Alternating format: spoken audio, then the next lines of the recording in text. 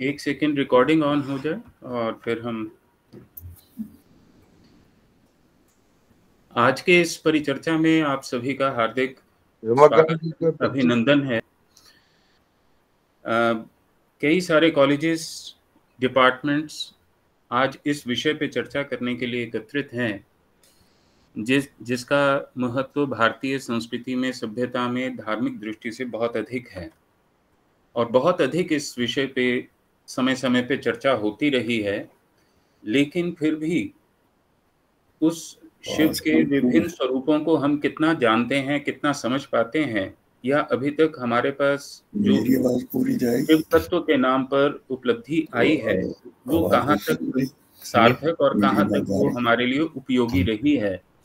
इस बात को आज हम दोबारा से समझने का प्रयास करेंगे। विषय आप लोगों के सामने है decoding Shiva element with reference to sociology aesthetics and philosophy सामान्य रूप से जिस शिव तत्व के ऊपर आप चर्चा करते रहे हैं या सुनते रहे हैं वो कभी काश्मीर शैव दर्शन के हिसाब से कभी दाक्षिणात्य दृष्टि से और कभी हम लोग जो है वो तन्मय मना वैदिक दृष्टि से हम इन विषयों को सुनते रहे हैं। लेकिन हमने बहुत सारे ऐसे पक्षों के ऊपर चर्चा नहीं कभी की, जिनके ऊपर की जानी चाहिए थी, और अलग अलग दृष्टियों से उस शिव को हम कैसे समझें, और उस समझ से हमारे अपने भीतर के अनुभव कैसे बनते हैं, दृष्टि क्या बनती है, उस विषय को हम समझने का आज ये प्रयास कर रहे हैं, और उसके लिए हमने आज विशिष्ट विद्वान प्रोफेसर डॉक्टर रमाकांत आंगेरस जी, जो कि professor former professor of Kalidas chair and head department of Sanskrit Punjab university Chandigarh रहे हैं। उनको हमने विशेष रूप से इस इस विषय पर चर्चा करने के लिए आमंत्रित किया है। और कार्यक्रम के अनुसार इस संक्षिप्त भूमिका के बाद उनका अभिभाषण रहेगा, उसके बाद खुली चर्चा रहेगी। आप लोग अपने प्रश्न, अपनी जिज्ञासाएँ, अपने दृष्टिकोण हमारे साथ साझा कर सकते हैं। और उसके बाद धन्यवाद ज्ञापन के साथ इस चर्चा को हम पूर्णता प्रदान करेंगे। जैसा कि जब इस विषय के लिए आमंत्रण दिया गया था तो उसमें यही विषय के बारे में एक प्रश्न रखा गया था कि इसी शिव को कभी आप नटराज के नाम से जानते हैं, अर्धनारीश्वर, पंचकृत्यकारी, ये आप सब स्क्रीन पे देख सकते हैं। और आशा है आप लोगों ने इस सारे विषय को देख भी लिया होगा। तो इतने सारे नामों के साथ, इतने विशेषणों के साथ, इतने विभिन्न आयामों के साथ उस शिव तत्व को हम क्या समझें और कैसे समझें? थोड़ा सा विषय को और आगे बढ़ाते हुए और फिर उसके बाद हम चर्चा करेंगे इस विषय पे। जब भी शिव का नाम आता है तो सीधे सीधे आपको दिखाई देता है कि कभी वो वैदिक शिव के रूप में आपको दिखाई देता है। पौराणिक शिव का अपना एक दृष्टिकोण है। वैदिक शिव में आप तन्मय मना शिव संकल्प से लेकर के रुद्रों के रूप में देखते हैं। पौराणिक शिव में वो कथाओं के रूप में देखते हैं कि आप कभी शिव जो है वो पार्वती से प्रश्न कर रहे हैं और कभी पार्वती शिव से चर्चा कर रहे हैं और अलग अलग अवतारों का आप स्वरूप पौराणिक रूप में देखते हैं। साहित्यिक शिव में आप कुमार संभवम और उस तरह के किरात आदि कई दृष्टियों से शिव का वो रूप भी आप देखते हैं। दार्शनिक शिव जो हैं, वो आप कश्मीर शैव दर्शन से लेकर के, कश्मीर से लेकर के दक्षिण में जो शैव संप्रदाय विकसित हुए हैं, वहाँ तक आप उनको देखते हैं। और केवल इतना ही नहीं, जब आप इसमें लौकिक शिव को मिला देते हैं, जिसको सामान्य रूप से भोला भंडारी और इस तरह के कितने नामों से आप जानते हैं, उस सबको मिलाकर के जो शिव का स्वरूप आप लोगों के सामने क्या बनता है या क्या बनना चाहिए, ये सारा उस दृष्टि को लेकर के हम चर्चा करेंगे। जब आप शिव शब्द की बात करते हैं और उसके तीन आयाम हमने यहाँ रखे हैं कि समाज शास्त्रीय आयाम क्या है, और वो मैं अभी आप लोगों के साथ बात करूँगा कि समाज शास्त्र कहने के पीछे मेरा भाव क्या है, उनका सौंदर्य पक्ष क्या है और दर्शन पक्ष क्या है। और जैसा कि संभवतः आप सभी जानते हैं कि शिव जो है शब्द, वो वश कांतो धातु से बनता है। और सामान्य रूप से आगमों में शिव को जो है वो उसमें ई की मात्रा जो है शब्द में जब ई की मात्रा शक्ति के प्रतीक में लगती है तो शिव जो है वो एक्टिवेट होते हैं, वो स्पंद रूप में आते हैं। लेकिन वो शव जो है वो वश कांतों से बनता है, ये सामान्य जानकारियाँ हैं। अब इस शव शिव जो हैं, इस शिव के जो तीन रूप आप नीचे देख रहे हैं, एक कर्ता रूप हमें दिखाई देता अपनी परंपरा में जहाँ पे वो अवतार लेकर के असुरों का वध कर रहे हैं, उनको वरदान भी दे रहे हैं। भोक्ता के रूप में भी आप देखते हैं कि वो किस तरह से ध्यानस्थ होकर के अपना ही ध्यान कर रहे हैं और फिर वो ज्ञाता के रूप में भी आपके सामने है। तो नोअर, डूअर और इंजॉयर के रूप में भी इस शिव को हमने आज देखना और समझना है, क्योंकि शिवरात्रि का दिन है।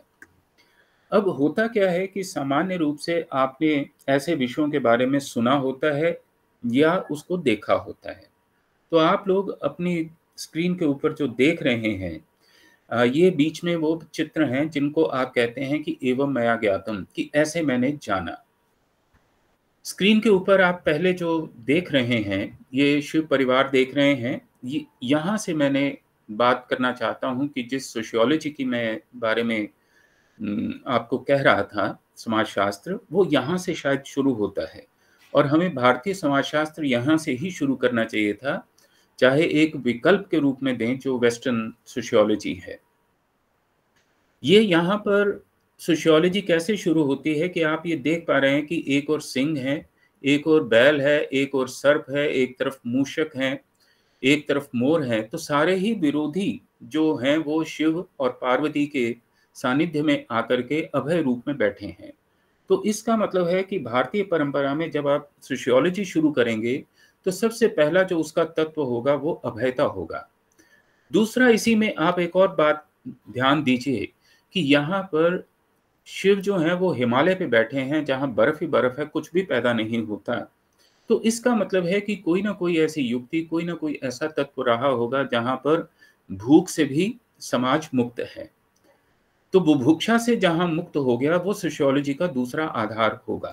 तो अभय और बुभुक्षा से मुक्ति, ये दो मुझे लगता है कि हमें भारतीय समाज शास्त्र के आधार के रूप में स्थापित करना चाहिए और इसके आधार पर परिवार या गृहस्थ, जिसे आप कहते हैं, वो समाज शास्त्र के मूल या स्तंभ कह लीजिए, वो सिद्ध होते हैं।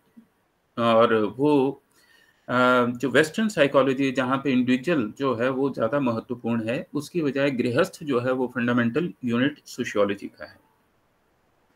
नीचे के भी आप चित्र में अगर आप देखें तो देवता, असुर, यक्ष, मुनि, गंधर्व सारे के सारे जो हैं वो शिव के शरण में आते हैं। तो इसका मतलब है कि टोटल सोशियोलॉजी जो विकसित होगी वो ऑल इंक्लूसिव होगी। तो पशु सृष्टि से लेकर के जीव सृष्टि तक देव सृष्टि तक सारे के सारे इसमें सम्मिलित होंगे। उसके बाद आप इधर आ जाइए। ये तो सोशियोलॉजी की बात थी। जब हम सौंदर्य की बात करते हैं तो एक और वो नटराज के रूप में हमारे सामने दिखाई देते हैं, जहाँ वो नृत्य करते हुए आपके सामने हैं तांडव। और नीचे की ओर देखते हैं तो अर्ध नारीश्वर के रूप में एक लास्य नृत्य उनका हमें दिखाई देता है। तो ये सौंदर्य की पराकाष्ठाएँ हमें दिखाई देती हैं।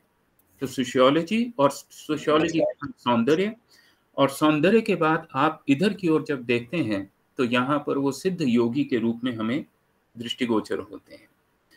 और केवल इतना ही नहीं अगर आप इसके प्रतीकात्मकता की ओर भी चले जाएँ तो प्रतीकात्मकता भी सौंदर्य और मिस्टिसिज्म अपने ओर अपने ही प्रकार का हमें दिखाई देता है। बात को थोड़ा सा और आगे बढ़ा करके मैं अपनी बात को विराम दूँगा और आज के मुख्य वक्ता को इस विषय के आयामों को खोलने के लिए आमंत्रित करूँगा। जो हमें उपलब्ध साहित्य होता है, उस साहित्य में आप देखें, दर्शन के रूप में आपने शंकराचार्य का ये स्तोत्र पढ़ा ही होगा और ये श्लोक आपके सामने है ही है, मनोबुद्ध अहंकार चित्तानि नाहम।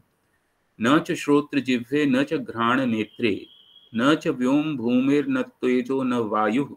चिदानंद रूप शिवोहम शिवोहम ये दर्शन का एक रूप हमारे सामने उभर कर आता है।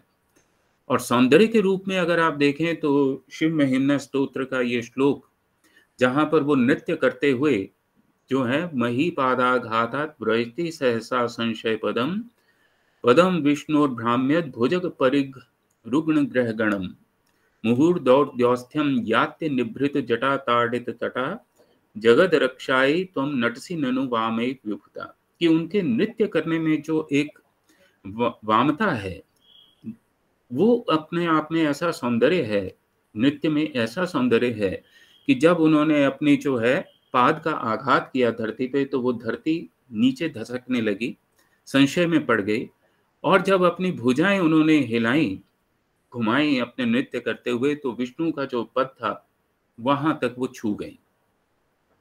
और जब उन्होंने जो अपनी जटाएँ थी, उनको अपना जब हिलाया नृत्य करते हुए तो उन्होंने सारे का सारा जो द्यूलोक है, वो सारे के सारे वहाँ पर उसको संशय में डाल दिया। तो आप देखें तो इस तरह के सौंदर्य की परिकल्पना करना मुझे लगता है कि ये पराकाष्ठा ही है कि इतने चेतन रूप को आप उसको शिव का रूप देकर के कैसे सौंदर्य में उसको समाहित कर देते हैं। और फिर समाज शास्त्र के रूप में हमारे पास लिखा हुआ जो नीचे, सबसे नीचे आप देख पा रहे हैं, वो वो भी स्तोत्र है और अर्धनारीश्वर स्तोत्र, जहाँ पर आप ये देख पाते हैं कि शिव और शक्ति दोनों एक साथ और पूरे सौंदर्य के साथ हमें उपलब्ध होते हैं। चांपेय गौरार्ध शरीर काय, कर्पूर गौरार्ध शरीर काय। धम्मिल्लकाई च जटा धराय, नमः शिवाय च नमः शिवाय। तो शिवाय, शिवा और शिव दोनों का ही एक साथ हमें यहाँ पे रूप मिलता है, जो कि समाज शास्त्र का आधार बनता है। तो कुल मिलाकर के ये मैंने आप लोगों के साथ ये पक्ष रखने का प्रयास किया है कि इन तीन पक्षों को आज हम विद्वान वक्ता से समझने का प्रयास करेंगे। और अंतिम बात ये जो आप देख पा रहे हैं कि ये शिव के इतने सारे आयाम हैं, ये उनमें से कुछ मैंने यहाँ पे रखे हैं कि इन सब आयामों को हम, हमारी बुद्धि में, हमारी जो संक्षिप्त बुद्धि है, लघु बुद्धि है, तुच्छ बुद्धि है, उस बुद्धि में ये सारे के सारे नाम किस स्पंदनों को उत्पन्न करते हैं और उस स्पंदन को शिव रूप में समझने में हमें, हम कैसे साम, हमारा समर्थ, जो सामर्थ्य है, वो अधिक विकसित हो वो उसका विस्तार हो, वो सूक्ष्म हो, वो गहन हो, वो सघन हो, इसी के लिए मैं आमंत्रित कर रहा हूँ आज के मुख्य वक्ता, प्रोफेसर डॉक्टर रमाकांत आंगेरस जी को कि वो इस सारे विषय पर हमारा मार्गदर्शन करें और हमारी दृष्टि को जो है वो विकसित करने में सहायता करें। शिवाय शांताय जगदाधार भूताय शंकराय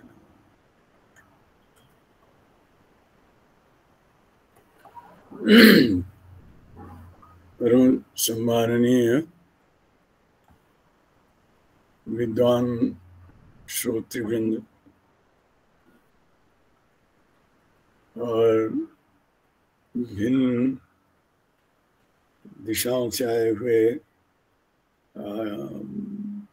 विभिन्न विषयों के आचार्य लोग सहृदय लोग सभी लोगों के साथ संवाद करने का ये आज अवसर प्राप्त हुआ है।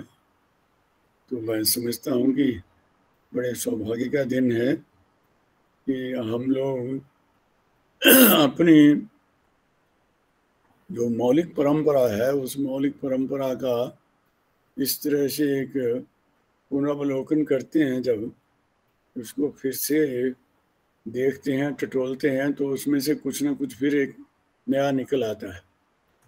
तो वो वास्तव में सृष्टि क्रम के अंदर जो नूतन और पुरातन के जो कॉन्सेप्ट हैं, वो बड़े मंद पड़ जाते हैं।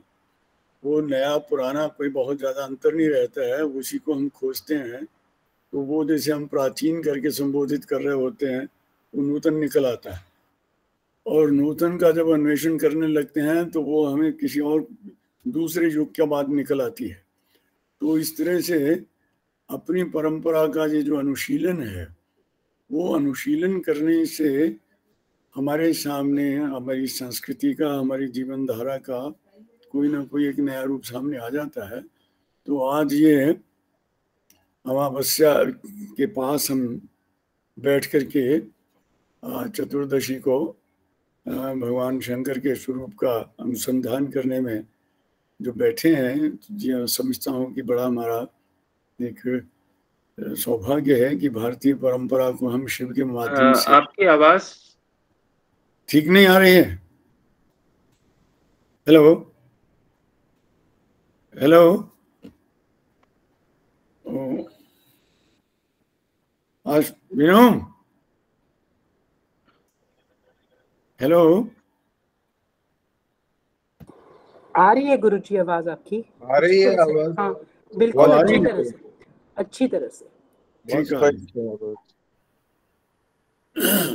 जी। तो, तो वास्तव में हमारे जो पर्व हैं उन पर्वों का उत्सवों का पर्वों का एक अपना जाति अनुसंधान जैसे हम कहते हैं कि मिल करके एक बार हम सारा राष्ट्र जितना समाज है, जितना लोक है, वो इस तरह से एक प्रत्येक विशिष्ट पर्व के ऊपर, एक विशिष्ट ऋतु परिवर्तन के साथ, एक साथ मिलकर के सारा लोक चित्त जो है, सारा देश जो है, वो अपना, अपनी परंपरा के मूल की ओर थोड़ा अग्रसर हो और उस अग्रसरता में से फिर वो वर्तमान के लिए जो जो उपयोगी उसमें से उपलब्ध होता है, उसको वो उसमें से उपलब्ध करे।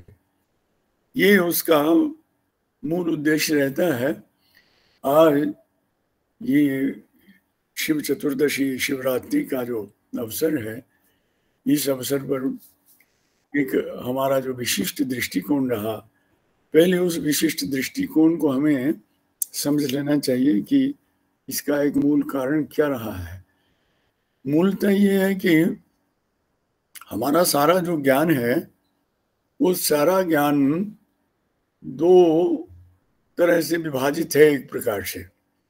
सारा ज्ञान जो है वो विभाजित है। विभाजित के लिए अगर हम उस उपनिषदों की उस मौलिक प्रार्थना को चुने हैं तो उससे समझ में आएगा कि असतो माँ सदगमय तमसो माँ ज्योतिर्गम ज्योतिर्गमय मृत्योर माँ अमृतम गम है। या हम मृत्यु के बारे में सोचते हैं या अमृत के बारे में सोचते हैं? और यहाँ हम उधर असत के बारे में सोचते हैं, ये सत के बारे में सोचते हैं। या हम तमस के बारे में सोचते हैं, जब प्रकाश के विषय में सोचते हैं। तो हमारा जो सारा जो मौलिक चिंतन है, वो इन तीन मूल सूत्र उपनिषदों के जो तीन मूल सूत्र हैं, बृहदारण्य के इन्हीं के अंदर एक प्रकार से आ जाते हैं कि असत के बारे में सोचें कि सत्य के बारे में सोचें।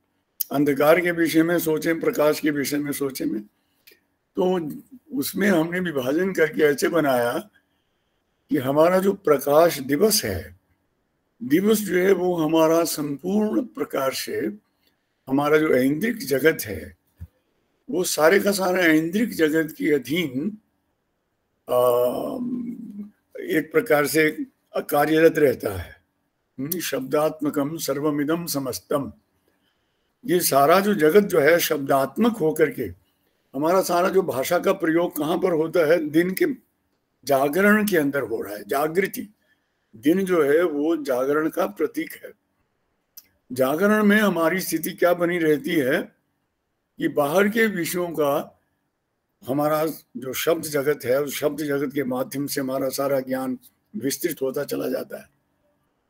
शब्दात्मकम सर्वमिदम समस्तम लेकिन शब्द से फिर हमारे अंदर विचार आना शुरू होता है कि जब हम बाहर की उस बहुत ज़्यादा यात्रा से, बहुत ज़्यादा परिश्रम से थक जाते हैं तो फिर हमें थोड़ा सा सोचना पड़ता है कि ये सारे के अंदर जो अनुति है, उस अनुति की खोज करने के लिए क्या दिन में ये सारा कार्यरत रहना, इतना अपने आप को व्यस्त रखना और ये सारे का सारा बाह्य जगत जो है उससे एक भ्रम टूटता है, जैसे कि लगता है हमें कि नहीं, कुछ और देखें, अंदर चले।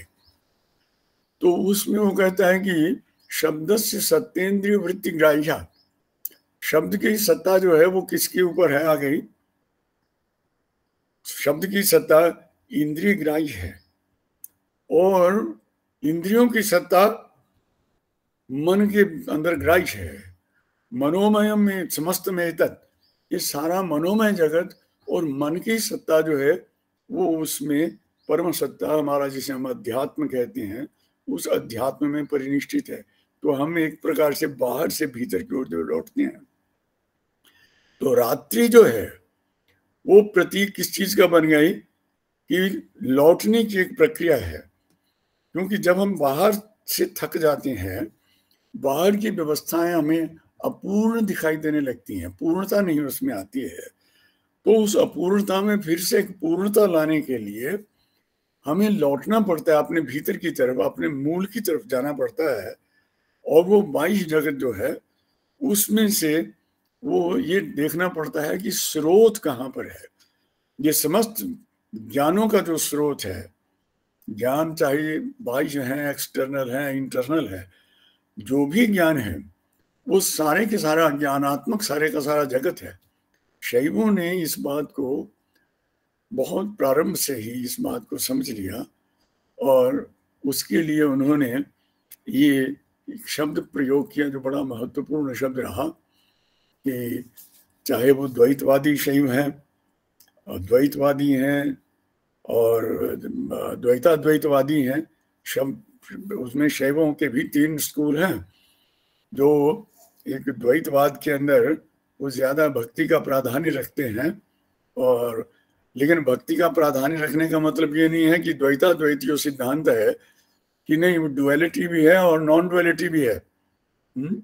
तो वो दोनों ही स्थितियों के अंदर भक्ति का स्वरूप भी बदलता चला जाता है और भक्ति जो है अंत में वो ज्ञानात्मिका ही हो जाती है अद्वैत के अंदर तो इस तरह से वो जो तीनों शैवों के जो स्कूल हैं, वो उन शैवों के उन जो आ, कहना चाहिए कि संप्रदाय क्रम से जो चली हुई परंपराएँ हैं द्वैत परंपरा है द्वैताद्वैत परंपरा है और अद्वैत की परंपरा है।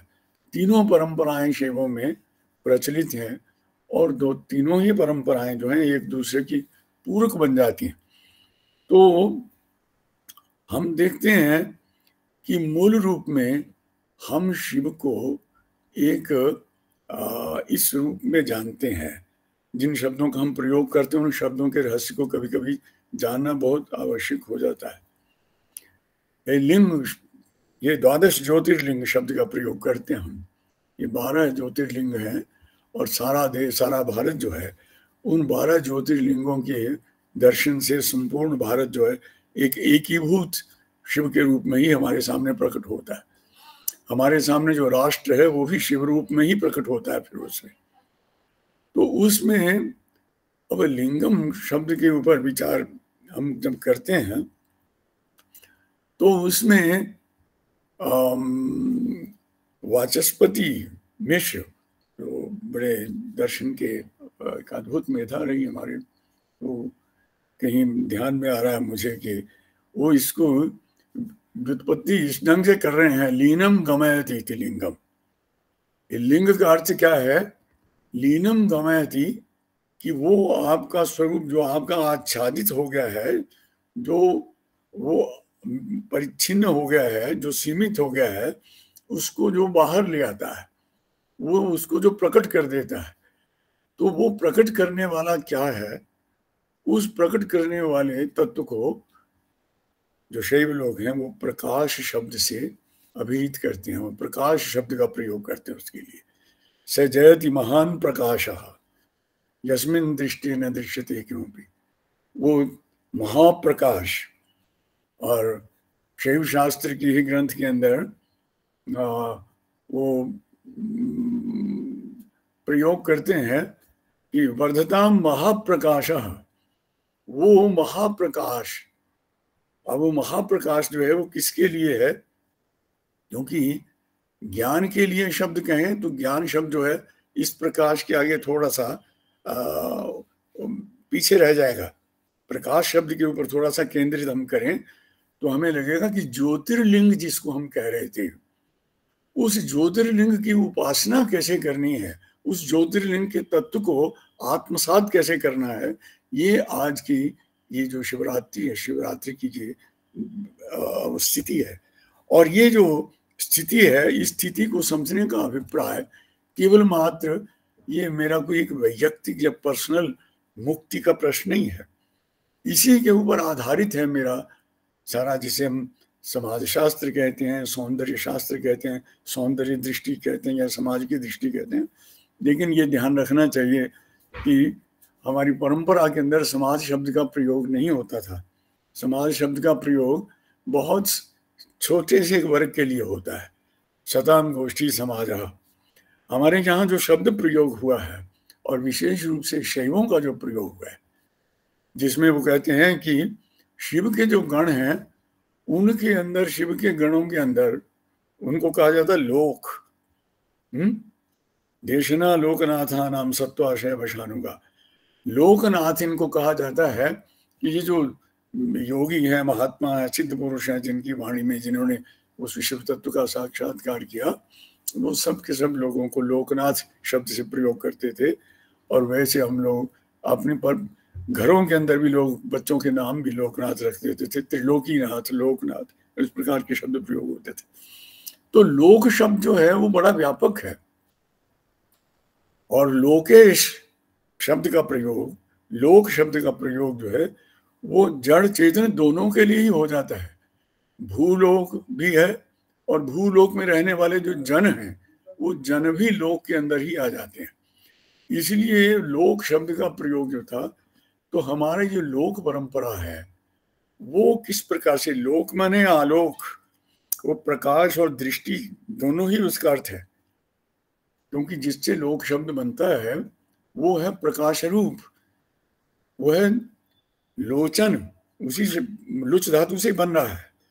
कि लोचन शब्द का अर्थ, और हो सकता है कि जो हमें भारतीय परंपरा के अंदर भी हम जाएँ तो संभवतः जो लुक है, उसका कहीं मूल इस लुक, लुच धातु के अंदर ही विद्यमान हो। तो ये जो आलोक है, प्रकाश है, वो प्रकाश का जो मूल स्वरूप है उसी का नाम ज्योतिर्लिंग बन जाता है।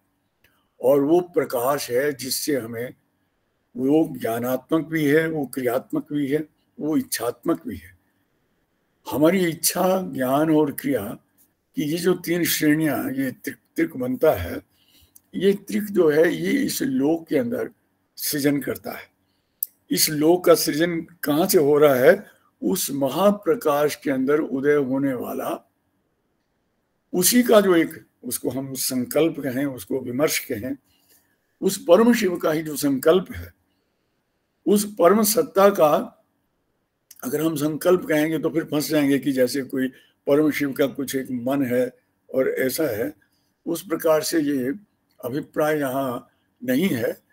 तो यहाँ शब्द का प्रयोग करते हैं ये महेश्वरानंद। वर्धताम महाप्रकाश। विमर्श विस्फुरित निश्चलोद्योत। ये महाप्रकाश जो है, ये शिवरूप जो महाप्रकाश है, ये वर्धताम अग्रसर होता है, ये ऐसे ही अग्रसर होता रहे। अब अग्रसर होने में हम लोग फिर उसमें शब्द के भ्रम में पढ़ सकते हैं। कि अग्रसरता क्या, वो प्रकाश जो है, वो चलता है, गतिशील है, क्या है उसमें? तो उसको वो आगे क्वालिफाई कर देते हैं। विमर्श विस्फुरित निश्चलोद्योता। वो उसके अंदर जो विमर्श आता है, प्रकाश के अंदर ही, जो उसका विमर्श, उसके अंदर जो एक इच्छा का जो उदय हो रहा है, हम उसको संकल्प कहने की अपेक्षा उसके लिए विमर्श शब्द का प्रयोग करने लगे। विमर्श का भी हमें जब लगा कि विमर्श शब्द से भी थोड़ा सा स्फुट नहीं होता तो हम कहा निश्चलोद्योत है उद्योत का अर्थ है स्फुरत्ता विमर्श का अर्थ है उसका स्फुरन करना। ये स्फुरत्ता शब्द जो है, शैवों का बहुत ही महत्वपूर्ण शब्द है ये। ये स्फुरत्ता जो है, ये स्फुरणशीलता जो है, प्रकाश का स्फुरण जो है, जो उसका स्वभाव है।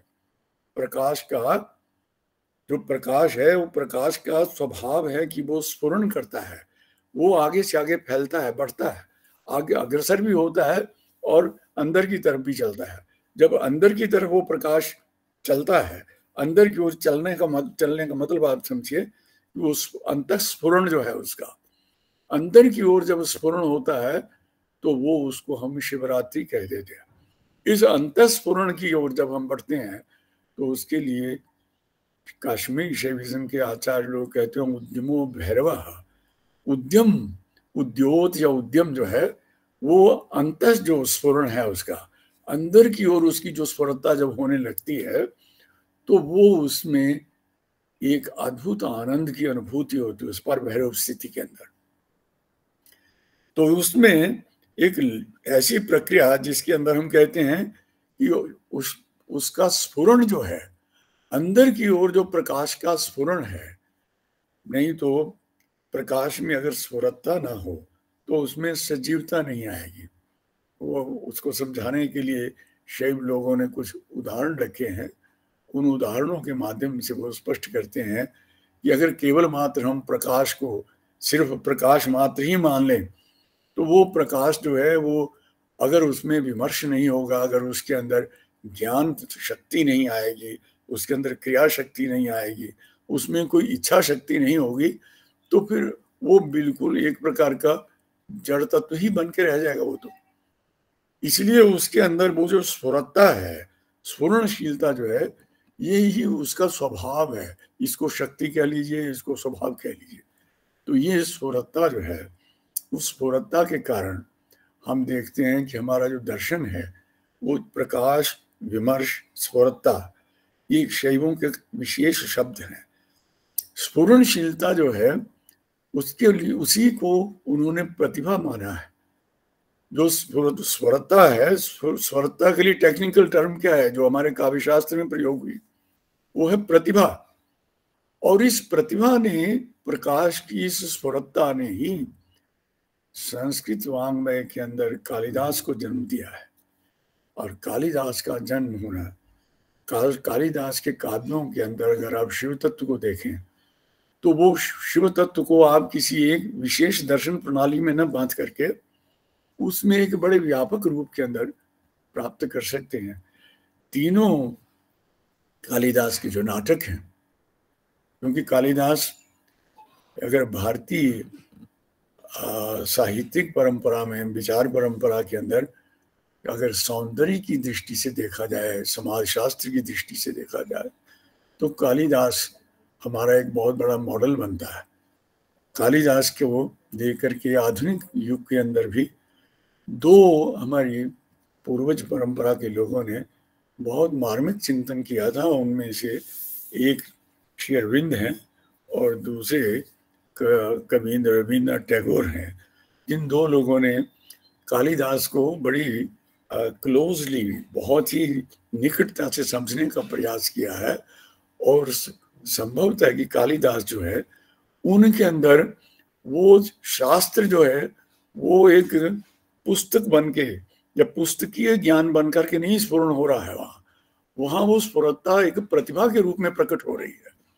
और ये प्रतिभा हमारी जो है, इस प्रतिभा को आपने समझना हो तो समझिए कि कवि में जो कल्पना है, ये कल्पना शक्ति जो है कवि के अंदर प्रतिभा ही कम, वो शिव की प्रतिभा ही, वो प्रकाश का जो विमर्श है, वो कवि के अंदर एक उसकी रचना के अंदर उसका विमर्श है जो उसकी रचना को प्रेरित करता है, वो उसकी स्पिरिट है। तो हम उस स्वरत्ता को स्पिरिट के माध्यम से समझें या किसी अन्य माध्यम से समझें तो वो प्रकाश जो है, वो यहाँ पर एक यह है कि परम शिव जो है, देखने में बिल्कुल ऐसे लगता है कि जैसे वो समाधिस्थ हैं, निष्क्रिय है। लेकिन वो निष्क्रिय नहीं है। उनमें क्रिया, उस ढंग से क्रिया जैसे हम क्रिया समझते हैं, वैसे क्रिया नहीं है। एक स्वाभाविक स्फुरत्ता है। इसलिए वो कहते हैं कि सा स्फुरत्ता महासत्ता देश काला विशेषणी वो जो उस परम प्रकाश है, उसका जो स्फुरण होना, उसमें से जो विमर्श का स्फुरण, शक्ति का जो स्फुरण होना है, वो स्फुरत्ता जो है, महासत्ता, वो देश काला विशेषणी वो हमारी जो बुद्धि है, हमारा मानसिक ज्ञान है, वो देश और काल की सीमा के अंदर ही दौड़ता है। लेकिन वहाँ पर वो स्वरता जो है, प्रतिभा रूप जो स्वरता है, वो सौंदर्य का सृजन इसी प्रकार से करती है कि वो देश और काल के भी परे चली जाती है। इसलिए यहाँ पर जब ज्ञान की बात हम करते हैं तो शैवों के अंदर तो उसमें ज्ञान का अर्थ केवल मात्र, ये बौद्धिक ज्ञान मात्र, बौद्धिक ज्ञान मात्र ना हो करके वो स्फुरणशीलता उसमें कल्पना की भी प्रवणता शामिल हो जाती है। इसलिए शैव दर्शन जो है, वो जितना दर्शन है, उतना ही वो सौंदर्य के प्रतिमा, बहुत ही प्रतिमानों को गढ़ता चलता है। अगर आप कुमार संभवम पढ़ेंगे तो पैर पैर के ऊपर आपको ऐसा लगेगा कि ये किस प्रकार के लोग थे। ये कैसे कवि थे कि जिन्होंने एक प्रत्येक जो भी उसमें जो कुछ भी सामने था, जो सम्मुख बिल्कुल पाशविक स्थिति में था, जो पशु की स्थिति में था, वो जो लौकिक था, उसके अंदर अलौकिकत्व का संचार कैसे किया है इन्होंने? ये लौकिक में जब अलौकिकता का संचार होता है, उसको हम सौंदर्य कहने लगते हैं।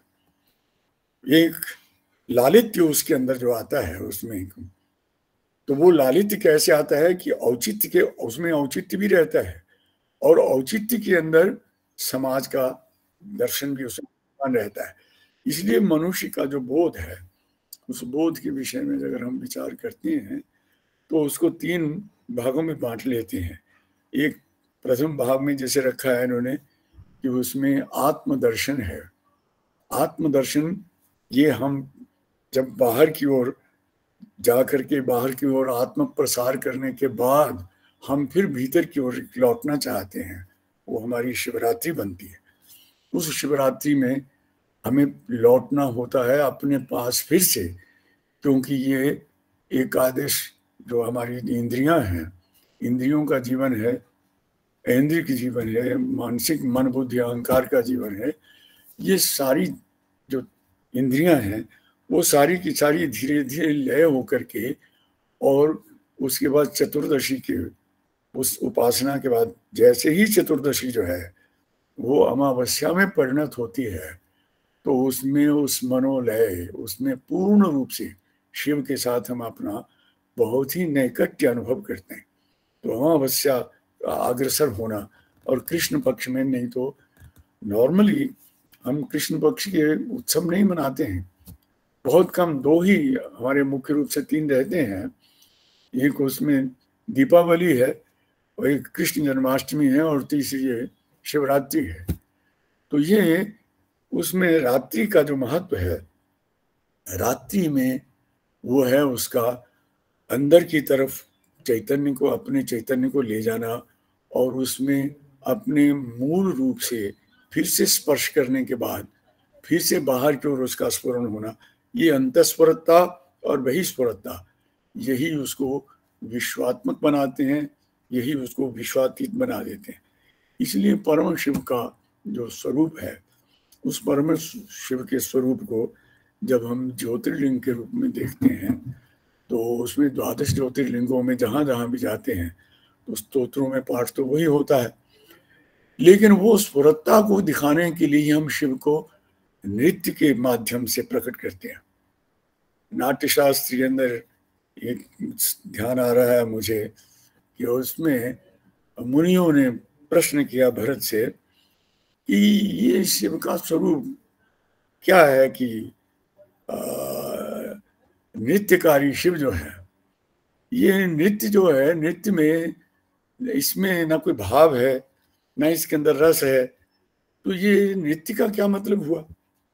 ये नृत्य कैसा है? ये बड़ा स्वाभाविक आमतौर पर यह ऐसा प्रश्न कम लोगों को पता होगा।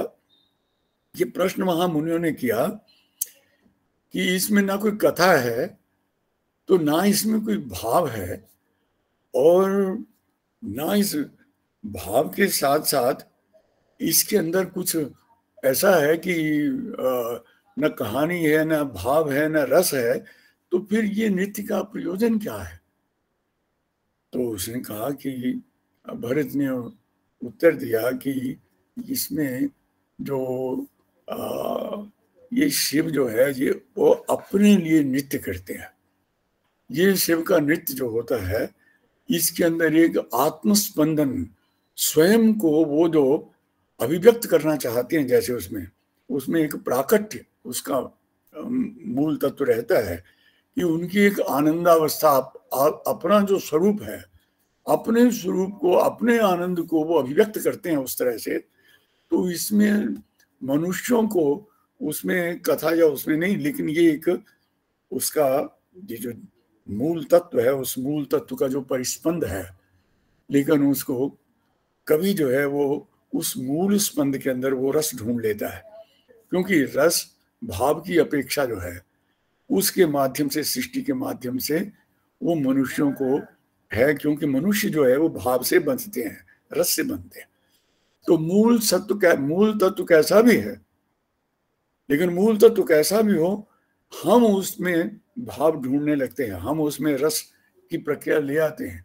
तभी ये जो श्लोक इसमें उपस्थित किया था कि भगवान शंकर का नृत्य कैसा है, उसके नृत्य को लेकर के बहुत अच्छे अच्छे पद्य हैं। मही पादा घादात ब्रजित सहसा संशय पदम अब जैसे ही नृत्य से पहले वो शिव जो है, अपना पैर ज़मीन के ऊपर, उस मंच के ऊपर जैसे ही पैर रखते हैं तो वो क्या हो जाता है कि पैर रखते ही ऐसे लगता है कि धरती को लगा कि वो, मैं तो गई। क्योंकि शिव का वो जो, क्योंकि मूल परम सत्ता का जो स्पंद है, वो प्रथम स्पंद जो है, उस स्पंद के अंदर आते ही धरती घबरा जाती है। उसे मही पादा खाता मही जो है, वो उस पैर को ज़मीन पर जैसे ही थप किया तो धरती जो है काँप उठती है। क्यों? मैं संशय पदम। पदम विष्णु और ब्राह्म्य। विष्णु का पद जो अंतरिक्ष है, उसके नक्षत्र आदि जो है, वो भुज परिघ रूप न ग्रह गणम।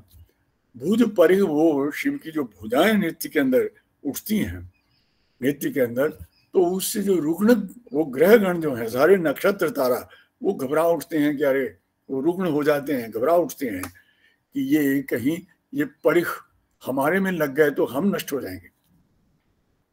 मुहूर्द्यौर दौस्थ्यम जात जटा, ताड़ित तटा।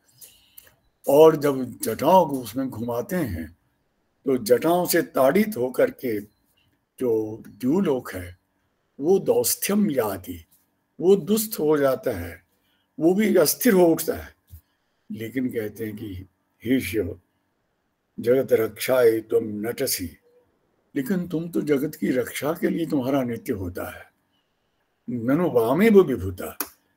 तुम्हारी इस विभूता, वाम विभूता, इसके कारण ही शिव का अन्य से थोड़ा अंतर हमें दिखाई देगा कि शिव की सेना में शिव की सेना में सब तरह के लोग जो हैं, असुर, सुर, देवता, यक्ष, किन्नर, गंधर्व राक्षस समस्त जातियाँ, समस्त लोग, समस्त जन जो है, वो शिव के गण कहलाते हैं। इसलिए वहाँ पर जब भी आप देखेंगे कि जब शिव स्तुति होती है तो उसमें बहुत ज़्यादा ये एक तो यह है कि जो सिविलाइज्ड सोसाइटी है, वो सभ्य समाज है, उसमें कथा आती है कि शिव उपेक्षित हुए। दक्ष प्रजापति ने यज्ञ किया और दक्ष के यज्ञ के अंदर घटना, सब लोगों को ये कथा पता है। तो सती की जो है, उसके अंदर शिव की उपेक्षा कर दी गई, वो सबसे ज्येष्ठ होने पर भी उसमें कितने सहस्र देवताओं का दस सहस्र के लगभग देवताओं का आमंत्रण है यज्ञ के अंदर और सब इकट्ठे हैं, लेकिन उसमें शिव को स्थान नहीं दिया जाता है। और ब्रह्मा जो है, वो संभवतः उनको ये समझ करके उपेक्षित कर देते हैं कि वो असभ्य है, उसको कोई ध्यान ही नहीं रहता है कि एक सिविल सिविलाइज सोसाइटी के अंदर लोग कैसे रहते। हैं मैंने इसलिए कहा था कि शिव तत्व की जब हम एक चर्चा करते हैं तो समाज की अपेक्षा वो लोग के पास चला जाता है। वो लोक की रक्षा के लिए, जगत रक्षा ही तो नट सिनेनुभामी भी होता। जगत की रक्षा के लिए, वो कथा आप सब लोगों को पता है कि उसमें उपेक्षित होने के परिणाम स्वरूप सती ने आत्मदाह किया और ये सब किया और शिव जो है एक एक साधारण व्यक्ति की तरह भी घूमने लगते हैं। क्योंकि शिव नृत्य से नृत्य से अभिनय की तरफ़ भी उतरते हैं।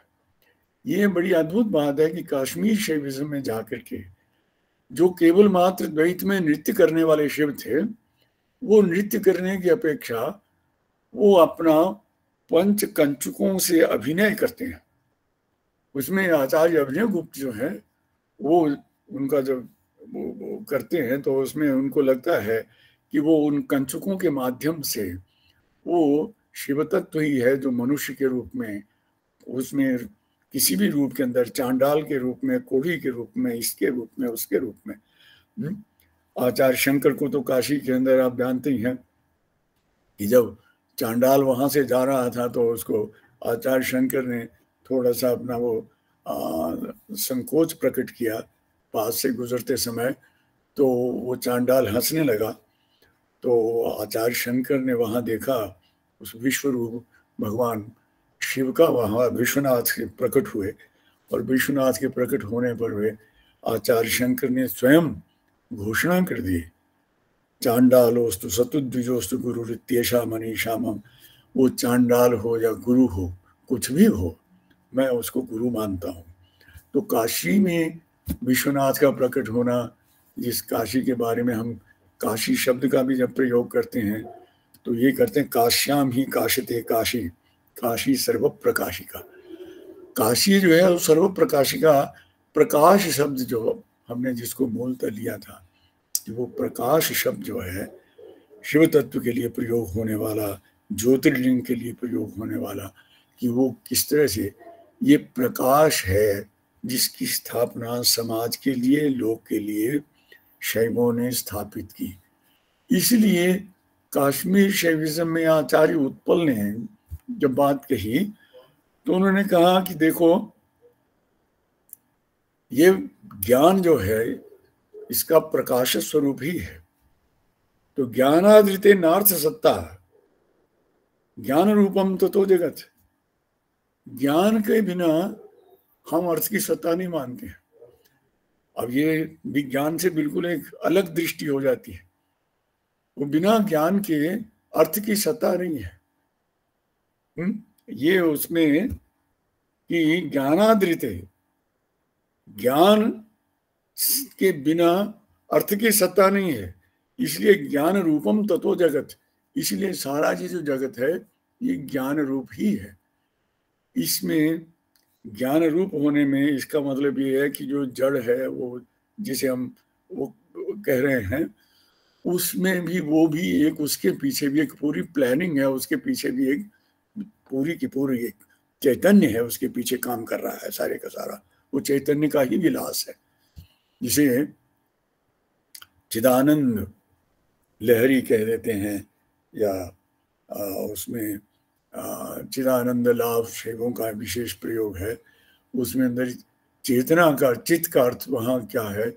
ज्ञान है। और आनंद जो प्रयोग करते हैं वो, चिदानंद लाभ। चेतना ज्ञान और ज्ञान, केवल ज्ञान नहीं मात्र है, वो आनंद भी है वहाँ पर। आनंद में ही उनका स्वातंत्र है। स्वातंत्र जो उनका प्राकट्य है, उनका जो अपना प्रकाशन है, जिसको हमने स्फुरन कहा था, वो स्फुरता जो है, उस स्फुरता के कारण शिव जो है वो समाज को एक व्यवस्था में एक पूरी व्यवस्था, उस ज्ञान के अंदर एक पूरी व्यवस्था आती है ज्ञान के कारण ही लोक में व्यवस्था है। ये ज्ञान ही हमारा बाह्य ज्ञान, भौतिक ज्ञान, लोक ज्ञान, विज्ञान, ये सारे का सारा जो है, ये विश्वात्मक भी है और विश्वातीत भी है। दोनों स्थितियों को शैव लोग स्वीकार करते हैं। शिवलिंग को आख्यानों के अंदर ये आता है कि आ, कुछ लोग कहते हैं कि ब्रह्मा और विष्णु उन लोगों में जब वो ऐसे हम्म, उनमें हुआ कि कौन बड़ा है उनके अंदर तो शिव के पास गए तो उन्होंने शिवलिंग को प्रकट कर दिया और कहा कि जाओ इसका आदि और अंत ढूंढ के आओ। पौराणिक कथाएँ जो हैं वो सारी कथाओं के पीछे एक अभिप्राय है। वो आम आदमी के लिए जो बात कही जाएगी क्योंकि शैव को आम आदमी के पास भी जाना है। जो बिल्कुल अशिक्षित है, उसके पास भी जाना है, जो शिक्षित है, उसके पास तो जाना ही है। अशिक्षित के पास भी उसका उतना ही। इसलिए लोक की रक्षा करने के लिए ऐसी कथाओं का, आम आदमी के पास उस लिंग कथा के माध्यम से कि शिव ने लिंग प्रकट किया और कहा कि जाओ इसका आदि और अंत ढूंढ के आओ तो दोनों को ही उसका आदि अंत नहीं मिला। इसका मतलब ये है कि आम आदमी को भी ये समझा दिया कि ये अनंत से सृष्टि आती है, लेकिन वो जो अनंत है, उसको अनंत ही मनुष्य नहीं छोड़ सकता। उस अनंत को वो अपनी शांतता के साथ जोड़ता है। तभी उसके कर्मों के अंदर एक सौंदर्य आता है, प्रकाश आता है। सौंदर्य का अर्थ क्या है? सौंदर्य को हम रूप शब्द से बहुधा व्याख्यात करते हैं और उस रूप का श्रृंगार का काव्य शास्त्री लोगों ने जिस तरह से व्याख्यान किया है, वो ये मानते हैं कि सृष्टि के अंदर जहाँ जहाँ भी निखार आता है, वो जो निखार है, उस निखार का नाम ही श्रृंगार है, सौंदर्य है उसके अंदर। वो जो उसका स्फुरन है, यही उसका सौंदर्य बन जाता है। हुँ?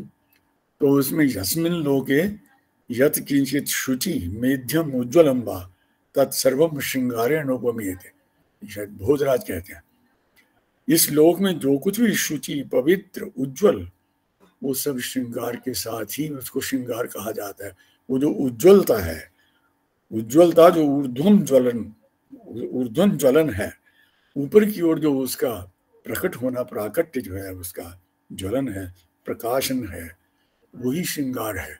उसी श्रृंगार को लेकर के कालिदास जब इस उदात्तता के अंदर जाते हैं तो कुमार संभवम के अंदर, मैं सौंदर्य के उन प्रतिमानों की उपमाओं, प्रेक्षाओं या अलंकारों का कोई उसमें ज़्यादा निरूपण नहीं करूँगा।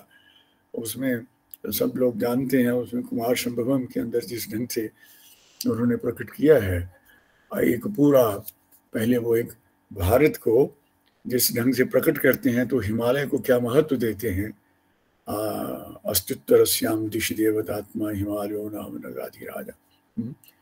वो देवतात्मा हिमालय को देवतात्मा की पदवी दी कि ये देवभूमि है। इस देवतात्मा के अंदर और इस देवतात्मा के ऊपर जो मेघ जाता है तो मेघ को वो कहते हैं कि तुम वहाँ ऊपर जाना। तो वहाँ पर तुम्हें भगवान शंकर के तत्र न्यस्तम सबदि चरण न्यासम अर्धेन्दु मौल्य। वो वहाँ पर तुम्हें शिव तो नहीं दिखाई देंगे, तुम्हें लेकिन शिव के जो कुछ प्रिंट्स मिल जाएँगे तुम्हें फुट प्रिंट्स मिल जाएँगे। वो पता कैसे लगेगा? शाश्वत भक्त्यार उचित बलिम, भक्ति नम्रे। भक्ति में नम्र हुए सिद्ध लोगों के द्वारा वहाँ पर उन, उसकी परिक्रमा करके वहाँ पर पुष्पांजलियाँ बिखेरी हुई हैं, उनसे तुम जान जाओगे उसमें यस्मिन दृष्टि परम शिव के उस स्वरूप को जब तुम हे मेघ देख लोगे, तब तस्मिन दृष्टि कर्ण विगमा दूरतम उद्धूत पापा। तो तुम्हारे ये जो कर्ण, जो इंस्ट्रूमेंटल ये सारे का सारा मन, प्राण, बुद्धि, इंद्रियाँ, ये सारे कर्ण हैं, सारी जो आपके इंस्ट्रूमेंट्स हैं, ये सारे के सारे ही पवित्र हो जाएँगे उसके। हिमालय के ऊपर उस परम शिव के सिर्फ़ कुछ वो जो चिन्ह है, वो चरण न्यासम अर्धेंद्र वहाँ पर वो शब्द प्रयोग किया है, चरण का शिव के जो चरणों के वहाँ पर छाप लगी हुई है वो चरणों की छाप देख करके तुम्हें पता लग जाएगा कि क्योंकि वहाँ पर जो सिद्ध लोग हैं उन्होंने उस परिक्रमा करके वहाँ पर फूल बिखेरे होंगे तो तुम उस जाओगे। लेकिन उसके दर्शन मात्र से ही उस प्र, उस इतने प्रकाशन से ही जरा सा तुम्हें चरण न्यास का ही पता लग जाएगा अगर तो उतने मात्र से ही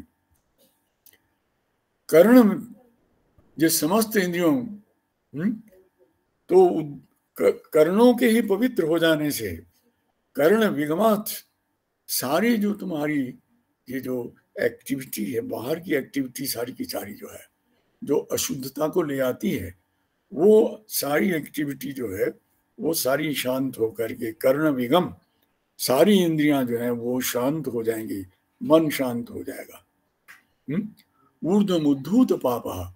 तो सारी पाप, सारी मलिनता के निकल जाने से कल्पन स्थिर गणपद प्राप्त धाना तो सिद्ध लोग जो हैं, वो स्थिर रूप से सदा शिवत्व के गण बन करके ही रहने में वहाँ लीन रहना पसंद करते हैं और उनको वो पद प्राप्त होता है। तो शिवरात्रि में उस परम शिव को, जहाँ पर रात्रि में क्या है, कर्ण विगमात। ये कर्ण विगम हो जाए और थोड़ा हम अपने उस मूल को फिर स्पर्श करके फिर उसमें एक नए प्रकाश के साथ एक नया उसमें जो है उसमें स्फुरता है क्योंकि अमावस्या के बाद ही पौरण शुक्ल का आरंभ हो जाता है। तो ये उसमें स्थिति है कि हमारा जो सौंदर्य है, सौंदर्य की दृष्टि क्या है कि सौंदर्य एक प्रकाश का प्रकाशन है। लेकिन ये प्रकाशन मनुष्य के लिए प्रकाशन जो है वो सारा एक इंद्रियों के मन के अनुकूल या अनुकूल संवेदनों से उत्पन्न हो रहा है। और ये जो अनुकूल संवेदन आ रहे हैं ये सारे के सारे जब उसके लिए उपासना करते हैं तो वो लोग वो आ, जो शिव संकल्प सूक्त है जिसके अंदर ये बार बार उठता है तन में मन शिव संकल्प मस्तु यस्मिन ऋच सामजयों की जो आपको पोइट बना सकता है। यस्मिन सामजयुंग की यस्मिन प्रतिष्ठिता रथ नाभा विवारा जैसे रथ की पहिए की नाभि में अर् फिक्स हुए होते हैं, अर् निश्चित फंसे होते हैं, ऐसे ही जिसमें जिस मेरे मन के अंदर ये ऋचाएँ हम और ययु ये सारे मंत्र, सारा म्यूज़िक, सारा संगीत और साहित्य, ये सारी, ये सभी जिसके अंदर निहित पड़ी हैं, वो ऐसा मेरा जो मन है, वो शिव संकल्प प्राप्त होने पर ऐसा ही मेरा मन जागृत हो जाता है, उठ जाते हैं। तन में मन शिव संकल्प मस्तु, वह मेरा मन जो है, वो शिव का ही संकल्प, शिव के संकल्प में ही लीन हो जाए, ऐसी संभावना के साथ प्रार्थना करते हैं। तो उस प्रार्थना का अभिप्राय कोई केवल प्रार्थना मात्र नहीं होता है। वो एक परोक्ष रीति से कहा जाता है, परोक्ष प्रिया ही देवा। एक प्रत्यक्ष द्विषा कि जो स्थूल बुद्धि के लोग होते हैं, उनको प्रत्यक्ष कहना पड़ता है। लेकिन जो सेंसिटिव लोग होते हैं, उनको प्रत्यक्ष नहीं कहना पड़ता है। उनको परोक्ष भाव से, व्यंजना से, वो शब्द की शक्ति से, वो एक व्यंजना शक्ति से, संकेत से इस वो करना पड़ता है। इसलिए वहाँ पर, जहाँ पर हम ये लाते हैं, व्यंजना को लाते हैं, ध्वनि को लाते हैं तो ये संकेत लाते हैं तो वहाँ पर उसमें सौंदर्य आ जाता है। शब्द का सौंदर्य आपने देखना हो तो स्वर का सौंदर्य देखना हो, शब्द का सौंदर्य देखना हो वो सारा कलाओं में मिलेगा। इसका मतलब यह कि शैवों के लिए कल्पना जो शक्ति है,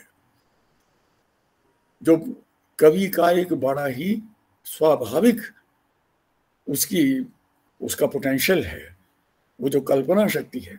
विचार शक्ति, जितनी विचार शक्ति प्रिय है, शैवों को उतनी ही कल्पना शक्ति भी प्रिय है।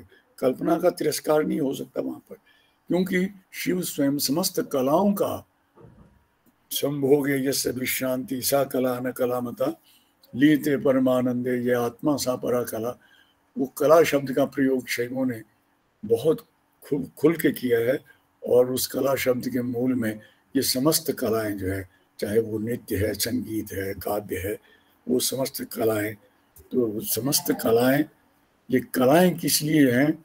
वो कहता है कि ये जो लोग थे सार्ववार्णिकम ये नाट्यवेद की रचना कैसे हुई कि नाट्यवेद की रचना करते समय वो क्या किया उन्होंने कि जग्राह पाठ्यम ऋग्वेदात। वो पाठ्य जो क्रम था ब्रह्मा ने वो ऋग्वेद से लिया और सामभ्यो गीति में साम से गीति लिया यजुर्वेदाद अभिनयान और रसान अथर्वणादपि अथर्ववेद से रसों रसों को लिया और उसमें इस तरह से चार वेदों से चारों को ये उसके लेकर के तो उन्होंने उसमें नाट्य का निर्माण किया। नाट्य के निर्माण का अर्थ क्या है? सामाजिकों का संतोष करना, समाज को एक निष्ठ करना, एक मुस्त उनको बनाना, एक उनके अंदर एक विविधता के अंदर एक यूनिटी उसके अंदर अनेकता के अंदर ऐक्य स्थापित करना ये नाट्य का, जिसे उसने कहा, ये पांचवा वेद बनाया, सार्ववर्णिकम। ये सभी वर्णों का, जिसके अंदर किसी तरह का वर्ण और जाति का भेद नहीं है, ऐसा जो उसमें देवानामिदमामनन्ति मुनया शान्तं क्रतुम चाक्षुषम। रुद्रेणे मुमाकृत व्यतिकरे स्वांगे विभक्तम विधा फिर यहाँ पर नाट्य के अंदर भी कौन है रुद्रेणेदम उमाकृत व्यतिकरे। स्वांगे विभक्तम दिधा रुद्र ने इसको नाट्य को अपनी स्वांग में पार्वती के साथ इसको अभिव्यक्त किया उसको त्रैगुण्योधो मात्र लोकचरितम। अब सोचिए कि आपकी जो सामाजिकता है, कलाएँ समाज को लोक को दृष्टि में रख करके ही कलाओं का निर्माण होना। अगर लोक नहीं है तो उस कला का कोई अभिव्यक्ति का अर्थ नहीं रह जाता है कुछ भी उसके लिए। इसलिए लोग कहता है त्रैगुण्योद्भव मात्र। ये त्रिगुण सृष्टि जो है, उस त्रैगुण्य से जिसकी उत्पत्ति हुई है, और लोक ही जिसका चरित है त्रैगुण्योद्भवम मात्र लोक चरितम नाना रसम दृश्यते नाना रस है इसके अंदर, वो उसमें श्रृंगार आदि है, नाना हुँ? हम्म? तो उसके अंदर त्रैगुण्योद्भव मात्र लोक चरितम नाना रसम नाट्यम, भिन्न रुचेर जनस्य बहुधा पेकम समाराधन इस लाइन को अगर आप पढ़ लेंगे तो आपको सौंदर्य और आपकी सामाजिकता समझ में आ जाएगी सारी। नाट्य क्या है, कहता है, परिभाषित करते हैं। भिन्न रुचेर जनस्य। भिन्न रुचियों के सब अलग अलग रुचि के लोग हैं। रुचि नाम वही चित्रा द्विज कुटिल नाना पथविश्राम निड़ामी को गम्यस्तों से पैसा मरण में सब लोग भिन्न भिन्न रुचि के हैं। लेकिन क्या हो गया? नाटक के अंदर आकर के भिन्न रुचि जन से बहुधा। एकम समाराधन एक का समाराधन। रुद्रेण रुद्र ने जिसको अपने ही स्वांग से प्रकट किया था उमाकृत व्यतिक्रे स्वांगे विभक्तम द्विधा। ये द्विधा विभक्तम का तीसरा श्लोक जो था, नम शिवाय नम शिवाय। चांपे गौरार्ध शरीर काय कर्पूर गौरार्ध शरीर का अब देखिए ये जितना वैषम्य है, उसका समाधान सामरस्य जिसे कहते हैं। वो दोनों का सामरस्य कैसे करते हैं? चांपे गौरार्ध शरीर का ये स्वर्ण चंपक जिसे कहते हैं, बहुत सुगंधी और सौंदर्य में। एक का वर्ण जो है, चांपे गौरार्ध शिवा का स्वरूप है। और कर्पूर गौरार्ध बिल्कुल ट्रांसपेरेंट गौरा कर्पूर मुष्कपूर कपूर की तरह जिनका अर्थ शरीर धम्मिल नकाय एक केश सज्जा केश कला विधिवत बना हुआ है। और दूसरा जो है उसमें जटा धरा है। जटा ढीली ढाली बिखरा हुआ है। दोनों ही सिविलाइज्ड भी है अनसिविलाइज्ड भी है। दोनों ही तत्व आ रहे हैं। और नमः शिवाय। नमः शिवाय। शिवा कौन है? चांपे गौरार्ध शरीर का। चंपा के कुसुम के समान जिनका गौरार्थ शरीर है और धम्मिल काई और जिनका केश कलाप जो है सौंदर्य निर्मित है। और वो दूसरे, वो हैं कर्पूर गौरार्थ। कर्पूर के समान गौरार्थ आधा शरीर वो शिवत्व है, और दूसरा जटाधरा है। जटा के माने होता है जो केश कलाप वो ठीक ढंग से कंगी नहीं किया हुआ है, बहुत ज़्यादा उसमें सफ़ाई नहीं कर दी गई है जटाधरा है नमः शिवाय नमः शिवाय। तो ये उसमें ये हमारी सामाजिकता को, हमारी जो नाट्य शास्त्र हमारा जो कलाएँ हैं, उन कलाओं के माध्यम से शैवों ने जब ये बात कही तो तत्व तो दर्शन में जब गए तो उन्होंने कहा भूरम्भांसनलोनलोम्बरमहर्नाथो हिमांशु कुमार, नित्याभाति चराचरात्मकमिदम यस्यैव मूर्त्यष्टकम। आचार्य शंकर इसे दक्षिणामूर्ति स्तोत्र में निरूपण करते हैं। और ये देखिए, ऐक्य कैसे बनता है कि इधर आचार्य शंकर कह रहे हैं, भूरंभांसनलो निलोम्बर महरनाथो हिमांशु कुमार ये अष्टमूर्ति शिव अर्थ मूर्तियाँ क्या है, भूमि भू जल पृथ्वी, आकाश, पाँच ये हो गए, सूर्य, चंद्र हो गए। यजमान हो गए उसमें। हम्म? ये अष्टमूर्ति जो शिव है, वो नान्यत किंचित विद्यते में विश्राम, यस्मात परस्मात विभो। जिससे और उसके बाहर कुछ, उस उस शिवत्व के बाहर कुछ दिखाई ही नहीं देता है। हम्म? नान्यत किंचन विद्यते विमृष्टाम परस्मात् भी हो तस्में श्री गुरुमूर्त नमिदम श्री दक्षिणामूर्ति कालिदास अपना नाटक आरंभ करते हैं तो इसी अष्टमूर्ति शिव का शाकुंतल में स्मरण कर लेते हैं। और उसमें विक्रम और वशियम में मालविका के निमित्त में भी वो जो शिव का स्मरण करते हैं, वहाँ तीनों ध्यानों में आप देखिए, वहाँ भी दूसरी जगह अष्टावीर यश कृष्ण जगद तनुभिर विभ्रतो नाभिमान। आठ अपनी मूर्तियों से जिन्होंने, अब वो मूर्त भी शिव है। और अमूर्त भी शिव है। अमूर्त जो है, उसको मूर्ति में आना है और मूर्ति को फिर अमूर्त में जाना है। वहाँ से ये अनंत समुद्र की लहर, लहरों को उसमें से उदय होना है और फिर लहरों को उसमें वापस भी चले जाना है। तो ये उदय और अस्त का खेल जो है, ये जो स्फुरता है तो अंतरलीन विमर्श वो मैं समझता हूँ कि थोड़ा सा इसमें क्योंकि ये अलग अलग विषय जो है, सौंदर्य को लेकर के या समाज को लेकर के या उस दर्शन को लेकर के, तीन अलग अलग व्याख्यान भी हो सकते हैं। और उसी में उनके साथ संभवतः ज़्यादा न्याय, ये थोड़ा सा उसमें प्रयास किया है मैंने कि जहाँ वो कहते हैं कि ये अंतरलीन विमर्श पातु महेश प्रकाश मात्र तनु। प्रकाश ही है एकमात्र स्वरूप जिनका। और ये प्रकाश ही क्या है? यही ज्ञान रूप है। ये प्रकाश ही ज्ञानात्मक है। और ज्ञान के बिना इस जगत में जड़ की भी सत्ता नहीं है। जड़ जो है, वो भी उसी चैतन्य का ही, वही उसी का स्वरूप है। और दूसरा वो कहते हैं, नहीं ज्ञानाधृत भावा। और ना ही किसी ने कह निश्चित विषय ही कृता। ये मनुष्य का जो अंदर का साइक वर्ड जो है, वो भी ज्ञान के बिना उसका भी कोई अर्थ नहीं रह जाता। किसी ने ज्ञान के बिना भावों का साक्षात्कार नहीं किया है और बाहर के जगत का भी जो साक्षात्कार है, वो भी सारा ज्ञान रूप है, इसीलिए वो गृहित होता है, वो हमें स्पंदित करता है। सूर्योदय को देख करके हम सब एकदम सूर्योदय जैसे होने लगता है, जो जैसे सारा पक्षी जगत जो है, वो सारे का सारा गा उठता है, जैसे अस्थिर उठता है। सभी जगह से उसे म्यूज़िक उठने लगता है। तो बाहर की औषधियाँ हमारे शरीर के अंदर हमारी व्याधियों को शांत करने लगती हैं। तो माने ये है कि हमारे साथ उन औषधियों का संबंध है। हमारे साथ उस त्रिषा लगने पर हम क्या करते हैं? जल तत्व के बिना उसकी शांति नहीं होती है तो जल का हमारे चैतन्य के साथ संबंध है, उस जल में भी चैतन्य है।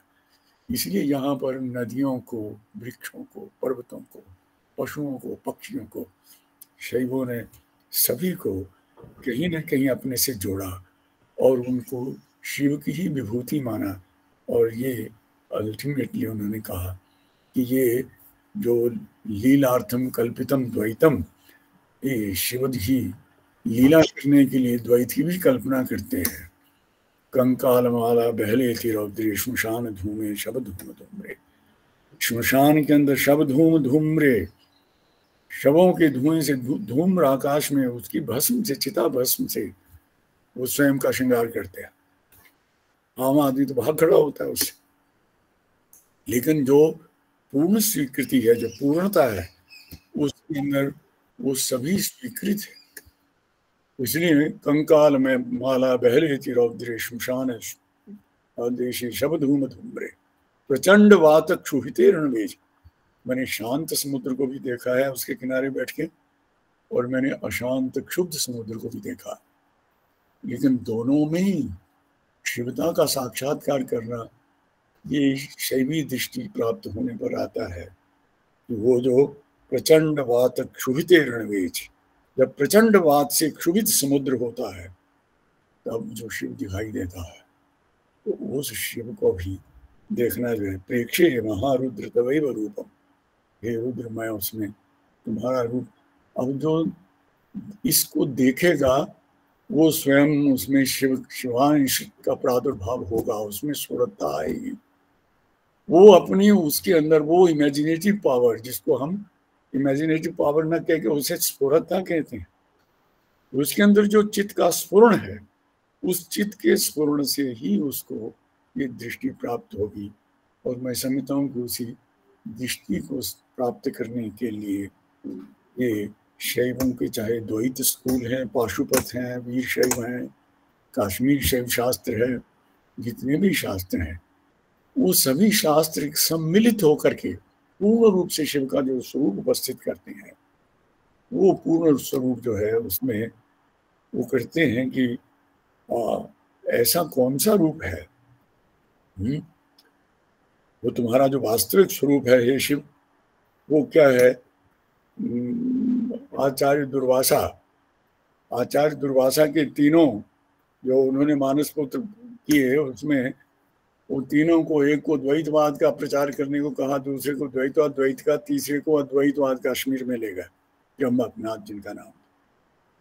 तो वहाँ पर वो दुर्वासा स्वयं जब निरूपण करते तो कहते हैं कि आ, मैं तुम्हारी महिमा का वर्णन वैसे तो क्या करूँ? हम्म? साध्यंताते वाम प्रमिनंत रूपम एक कथम वर्ण ये यू? वो कैसे वर्णन कर सकता है कोई आदमी तुम्हारी महिमा का? लेकिन प्रज्ञा अनुसार लेकिन मैं अपनी प्रज्ञा के अनुसार आपका वर्णन करता हूँ।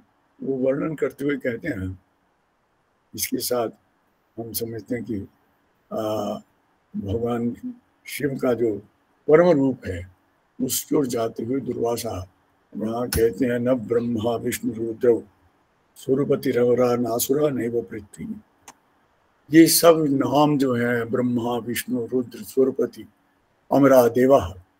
न ब्रह्मा, विष्णु, रुद्र, सुरपति रमरा नासुरा नैव पृथ्वी नापोग्निर्नैव वायुर्न च गगनतलम नो दिशो नैव काल वो स्थिति न देश है, न काल है, न आप है, न अग्नि है, न जल है, न पृथ्वी है, न आकाश है।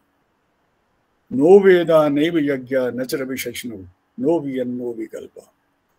न ग्रंथ है, न पुस्तक है, न कोई किताब है, कुछ भी यहाँ नहीं है। नो भी नो विकल्प। वो एक स्टेटमेंट स्टेट ऑफ़ थॉटलेसनेस की जो यहाँ विकल्प नहीं है। स्वज्योति सत्यम एकम तब जयति पदम सच्चिदानंद मूर्ति ये सच्चिदानंद मूर्ति परम शिव तुम्हारा वह स्वरूप है, स्वज्योति।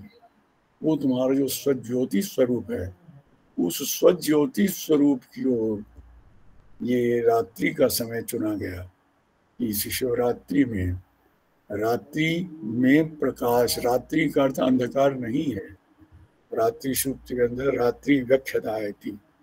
रात्रि ही प्रकाश का व्याख्यान ही करती है।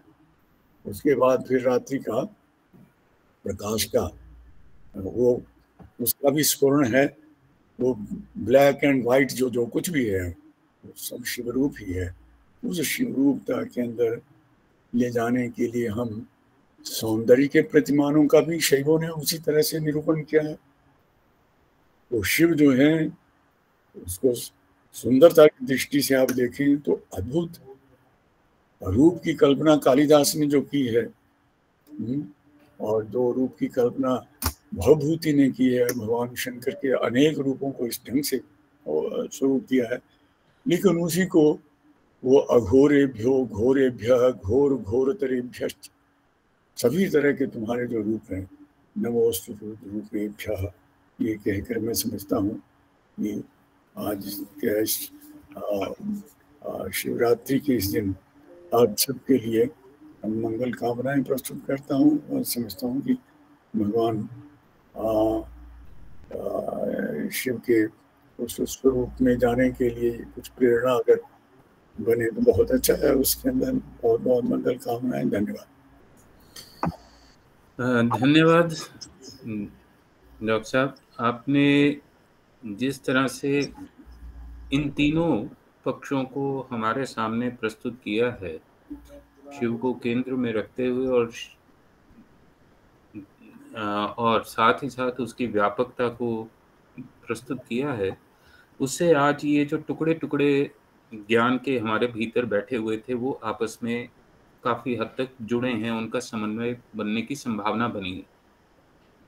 क्योंकि हम लोगों की दृष्टि सामान्य रूप से ऐसी रहती है कि अगर एक पक्ष देखते हैं तो बाकी सब पक्ष छूट जाते हैं, दूसरे की ओर जाते हैं तो पहला छूट जाता है। लेकिन आप जैसे लोगों के सानिध्य में ही हमें ये सीखने को मिलता है कि ज्ञान की एकात्मता का या संपूर्णता का अर्थ क्या है। अन्यथा टुकड़े टुकड़े लेकर के हमें लगता है कि कब कभी हम इधर के पक्ष को पकड़ लेंगे और कभी उधर के। तो उसके लिए धन्यवाद शब्द तो पर्याप्त नहीं है आ, लेकिन फिर भी धन्यवाद करने के लिए मैं ज़रूर बाद में आमंत्रित करूँगा डॉक्टर सी के झा जी को डॉक्टर राजेंद्रा जी को। लेकिन उससे पूर्व जैसा कि हमारा ये आ, सत्र होता है खुला मंच खुला सत्र जिसमें आप अपना दृष्टिकोण अपना विचार अपने प्रश्न जिज्ञासा या जो भी आपको अनुभव होता है तो वो हमारे साथ साझा कर सकते हैं। बिल्कुल स्पष्ट रूप से। तो यदि आप में से किसी के कोई प्रश्न है कोई जिज्ञासा है कोई और पक्ष जोड़ना चाहते हैं तो आपका हार्दिक अभिनंदन है। और उसके बाद डॉक्टर सी के झा जी आ, सभी कॉलेजेस की ओर से और डॉक्टर राजेंद्रा जो हैं वो सभी कॉलेजेस की ओर से धन्यवाद ज्ञापन करेंगे। और साथ ही हमारे साथ प्रोफेसर डॉक्टर सरोज कौशल जी जोधपुर से जुड़े हैं, जो कि संस्कृत विभाग से हैं, जोधपुर यूनिवर्सिटी से, वो हमारे साथ जुड़े हैं, उनका भी हम हार्दिक अभिनंदन और स्वागत करते हैं। डॉक्टर आनंद जी अगर आपसे बात शुरू की जाए तो ज़्यादा बेहतर नहीं है? आनंद गुरुहे जी।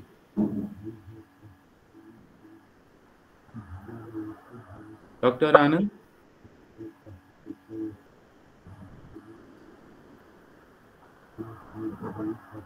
शायद सुन नहीं पा रहे। किसी का कोई प्रश्न या किसी का कोई टिप्पणी हो तो हमारे साथ। जी उदय जी उदय कुलकर्णी जी।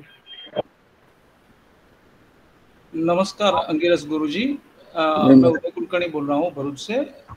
ये हमने कश्मीरी शैविज्म के बारे में सुना पढ़ा किंतु ये दक्षिण में शैववाद का जो प्रचार प्रसार हुआ है तो वो कौन से शास्त्र में डिस्क्राइब्ड है?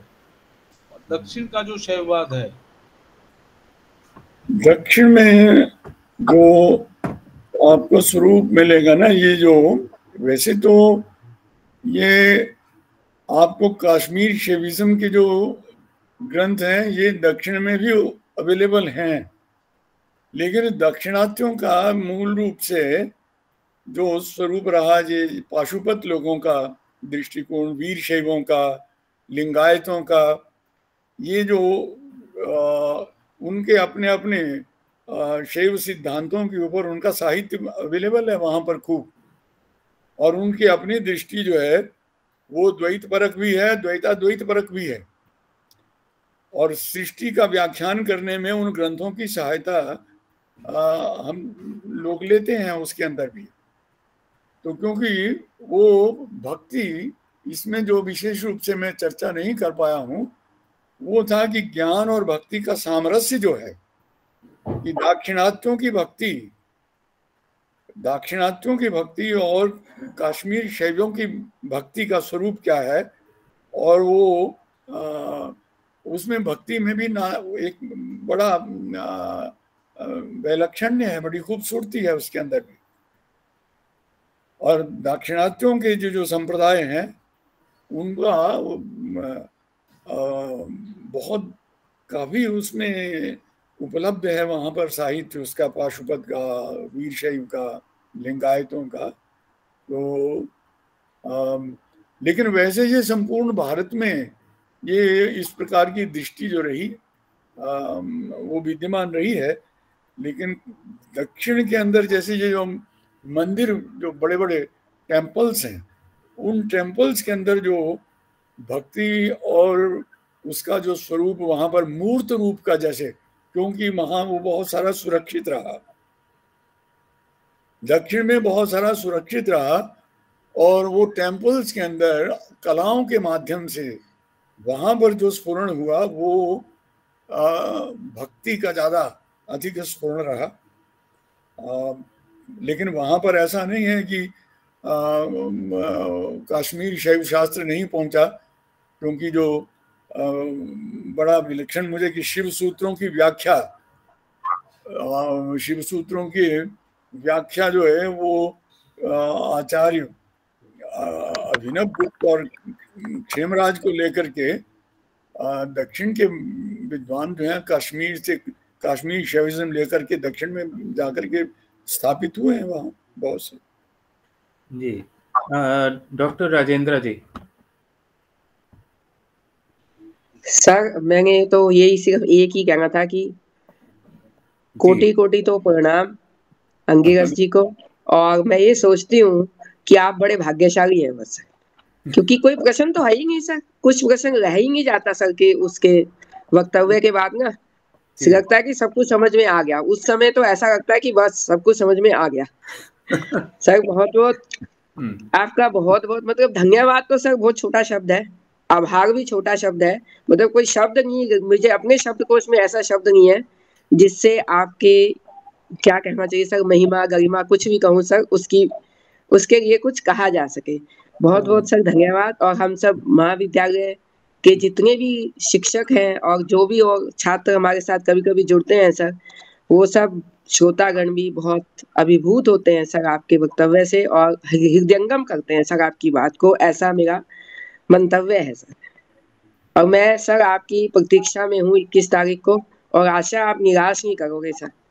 क्योंकि ये, सर, मेरी अपनी संस्था में ना, नहीं, सर, मेरी अपनी संस्था में ये मेरा ऑफिशियल अंतिम सेमिनार है, सर, मेरी रिटायरमेंट है अभी इसी मंथ तो इसलिए, सर, मैं आपके दर्शन ज़रूर चाहती हूँ, अपने उन छात्रों को भी करवाना चाहती हूँ, जिन्होंने, जो प्रथम वर्ष में आओ, जिन्होंने आपका दर्शन नहीं किया, सर। और हमारे प्रिंसिपल भी नए आए तो वो भी देखेंगे सर तो मुझे अच्छा लगेगा कि ऐसे ही विद्वान का हमारे महाविद्यालय में आगमन होगा धन्यवाद सर बहुत बहुत धन्यवाद एक प्रश्न मेरा है उससे पूछ हाँ। झा साहब कुछ कहें कि हाँ। ये जो लौकिक शिव हैं जिसको हाँ। भोला भंडारी ये मैंने लिखा हुआ है यहाँ पे स्क्रीन पे आप लोग देख पा रहे होंगे हम्म। ये भोला भंडारी क्या हुआ कि हिमालय से उतार के उनको सीधा काशी के हम महाशमशान में बिठा देते हैं। उनके लिए बीच का कोई मार्ग नहीं छोड़ते यज्ञ में उनको स्थान नहीं दिया। और फिर भी उसको भोला भंडारी आम आदमी अपनी भाषा में कह करके उनके साथ अपने को आइडेंटिफाई करता है। ये अपने आप में एक समझने वाली बात है क्योंकि वैदिक शिव का भी चलिए हमने कोटेशंस देख ली पौराणिक शिव आ, ये बहुत लेकिन इसके साथ ही डॉक्टर सी के झा जी का प्रश्न भी आप ले लें। हाँ। जी झा साहब अपने को अनम्यूट कर रहे हैं। जी सर्वप्रथम गुरु जी को प्रणाम और आप सभी विश्वविद्यालयों को भी मेरे तरफ़ से महाशिवरात्रि की बहुत बहुत शुभकामनाएँ। वैसे तो प्रश्न नहीं ही प्रश्न नहीं है परंतु एक थोड़ी सी जो है ना क्लियरिटी ये चाहिए कि जैसे हम लोग ये कहते हैं परम शिव अज्ञानम की बंध है। अज्ञान ही बंधन है और ज्ञान ही मोक्ष है। तो गुरु जी से थोड़े ये प्रश्न थोड़े से ये है कि जैसे जो नॉलेज है इस संसार के जो नॉलेज है ज्ञान है जो हम विविध शास्त्रों को पढ़ते हैं सांसारिक ज्ञान जो है उसको हम अज्ञान की श्रेणी में शैव हम्म। दृष्टि से लाते हैं। तो फिर संसार में रह करके ये जो संपूर्ण नॉलेज है उसको नॉलेज कहें साइंस जिसे ज्ञान कहता है नॉलेज कहता है उसको हम इस परंपरा में क्या चाहते बस एक थोड़ी सी जिज्ञासा है। जी। आ, ये देखिए ये जो आ, एक, जो पहला प्रश्न है और दोनों में थोड़ी सी मैं संगति बिछाने की कोशिश करता हूँ कि जो पहला प्रश्न है, वो है कि विकल्प जो है, ये जो हमारे जो हम एक परिच्छिन्नता के अंदर जो जी रहे लोग हैं ना हम बहुत लिमिटेड सी जीवन जी जीने वाले लोग जो हैं तो वो ऐसी स्थिति में आ जाते हैं कि जब हमारी एक विकल्प वृत्ति बनती है, हम सब लोग उसमें विकल्पों के अंदर ही उलझ जाते हैं सारे, अपने ही थॉट्स हमें जो है, हमें बाँध लेते हैं। तो अगर उनके ऊपर भोरा भंडारी कहने के पीछे तो प्रश्न कारण सिर्फ़ ये रहा कि भोला शब्द का अर्थ मूर्ख नहीं आता है। भोला का अर्थ होता है कि वो शुद्ध स्वरूप। भोला का अर्थ ये है कि वो जो भी अनपेक्षित है, उसको भूल जाता है। वो उसको याद नहीं रखता अपनी स्मृति के अंदर। हम लोग अपना स्मृति में उसको कुछ कर रखते हैं कि तुमने उस समय मुझे ये कहा था, इसलिए मैं तुम्हें नहीं छोड़ूँगा। तो ये जो स्मृति है हमारी वो स्मृति जो है वो स्मृति संस्कार जो है उन्हीं के कारण हमारा बंधन बना रहता है। तो भोला वो है कि जो उसमें वो स्मृति उस प्रकार की अनावश्यक स्मृति बनने नहीं देता है। आप समझे? नहीं समझे? जी जी। आशुतोष। जी। वो जो भोला है वो उसको उसके ऊपर वो स्मृति क्योंकि वो वो वो मन अभी उसका बना ही नहीं जैसे हम बच्चा है ना। जी। बच्चा जो है उसका भी मन बने ही नहीं है बुद्धि। इसलिए वो बहुत सारे राग द्वेष से मुक्त रहता है। हम्म हम्म। उसको पता ही नहीं लगता है कि उसके घर वालों ने उसके किसको वो घर वाले परेशान घूम रहे हैं लेकिन वो बच्चा देख रहा है कि इनको क्या हुआ है। वो बिकॉज़ ऑफ़ इज़ इनोसेंस इसको हम कह देते हैं कि यहाँ पर वो जो विकल्पात्मक जो ज्ञान है विक्षेपात्मक जो ज्ञान है वो विक्षेप जो है उसमें वो विक्षेप जो है आवरण और विक्षेप वाली जो स्थिति आती है ना जी। वो वहाँ पर आवरण और विक्षेप जहाँ दोनों ही नहीं है वो उसका भोलापन है उसका। जी ठीक। वो, वो कहता है वो वो जानते हुए भी नहीं जानते हैं। हम्म हम्म। वो जो भगवत गीता के अंदर जैसे वो कह देते हैं ना कि नहीं ये उसमें वैसे देखो तो कहता है कि तुम अर्जुन आ, इस बात को कि मैं सब जानता तू ही जानता है पिछला ये सब भूल जाओ। हम्म। तो विस्मृति क्योंकि हमारी जो स्मृति है वो हमारी अगर स्मृति जो है वो ध्रुवा स्मृति में परिणत ना हो तो वो स्मृति हमारा जंजाल बन जाती है। वो विकल्प विकल्पों का समूह वो भोला भंडारी इसलिए है कि उसके पास अभी उसको किसी ने अगर ये भी किसी असुर ने भी आकर के प्रश्न पूछ लिया। उसमें उसके जो भक्त हैं वो उसके भोलेपन से ही वो निर्व्याजता सीखते हैं।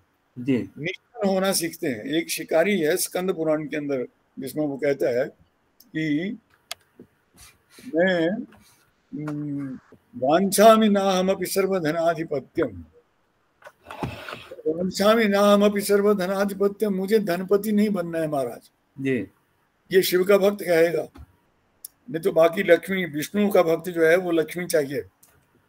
लेकिन यहाँ वो कहेगा वांछामि ना हम अपनी सर्वधनाधिपत्यम न स्वर्ग भूमि मचलाम न पदम विधातु। मुझे न स्वर्ग चाहिए न मुझे विधाता का पद चाहिए। भूयो भवामी यदि जन्मनि जन्मनि श्याम तत्पाद पंकज लसन मकरंद भृंगी अगर मेरा फिर जन्म हो फिर जन्म हो तो मैं तुम्हारे चरण कमलों पर मंडराने वाला भ्रमर बन जाऊँ बस।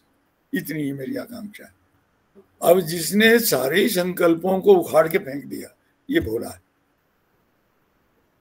जी। ये भोला है क्योंकि विकल्पहीन वृत्ति जो है ये जो थॉटलेसनेस है अज्ञानी नहीं है वो अज्ञानी नहीं है मूर्ख नहीं है वो रिएक्ट कर सकता है। लेकिन वो उसके लिए हर छोटी छोटी बात जो है, उसको प्रभावित ही नहीं करती। ऊपर से निकल जाती है। जैसे पत्थर के ऊपर वो कहते हैं ना कि प्राण जो था, प्राण को उन्होंने अग्रसर किया तो असुरों ने अपने सारे शस्त्रों के प्रहार उस पर किए। लेकिन प्राण के ऊपर जैसे वो शस्त्र पड़ते थे, वैसे वो मिट्टी के ढेले की तरह टूट के नष्ट हो जाते थे। तो इसलिए वहाँ पर जो विकल्प हैं वो आकर के बिल्कुल व्यर्थ चले जाते हैं। इसलिए वो भोलापन उसका है। तो उसमें वो संकल्पों और विकल्पों के ताने जाने में इस तरह से नहीं बंधा हुए जैसे आम मनुष्य बंधे हुए हैं जैसे हम लोग बंधे हुए हैं। तो सरल है। भोला भोला रिजु है। रिजुता है उसकी। जी जी। और दूसरा ये है कि ये जो एक स्थिति में इसमें जो है शैविज्म के अंदर जो रखा है आणवोपाय शाक्तोपाय और शांभवोपाय। ये जो हम कहते हैं अज्ञानम किल बंध हेतु रुदित है शास्त्रे मलम तत्स्मृतम। अज्ञानम का मतलब यहाँ पर वो अज्ञान नहीं है ज्ञानाभाव नहीं है। क्योंकि यहाँ पर अपूर्णता है पूर्णता का बोध ना होना जो है ये अज्ञान है। मुझे विज्ञान तो आ गया लेकिन विज्ञान के साथ मैंने दूसरा पक्ष जो था उसको मैंने खंडित कर दिया। मैंने कहा नहीं मैं नहीं मानता कि ये साइंटिस्ट को किसी को पूछो कि क्या आ, तुम ईश्वर को मानते हो या परम तत्व को मानते हो? तो वो उसमें वो कहता नहीं ये मेरा विषय नहीं है मुझे इससे क्या लेना देना है? मेरे लिए मैटर जो है वही सब कुछ है। मैटर से ही मुझे सब कुछ लेना है यही करना है वही करना है। तो वहाँ पर उसको कह देते हैं कि ये कि यार तुम तुम भी उस अज्ञानियों की तरह बात करते हो क्योंकि तुमने संभावनाओं को ठप कर दिया। जहाँ हम संभावनाओं को ठप कर देते हैं वहाँ हमारा स्फुरन रुक जाता है। जी। है ना? हम्म। कि हमारी सोच जो है जहाँ रुक गई। हमने एक इतनी विद्या को प्राप्त कर लिया किसी ने वो संज्ञा विशेष निर्णय मात्र प्रवृत्तानि, यत्र शास्त्राणी। शास्त्रों के बारे में भी कमेंट करते हैं कि ये शास्त्र जो है, वो वो जो परम प्रकाश शिव है, हम चाहते हैं उसके साथ हम जुड़ जाएँ।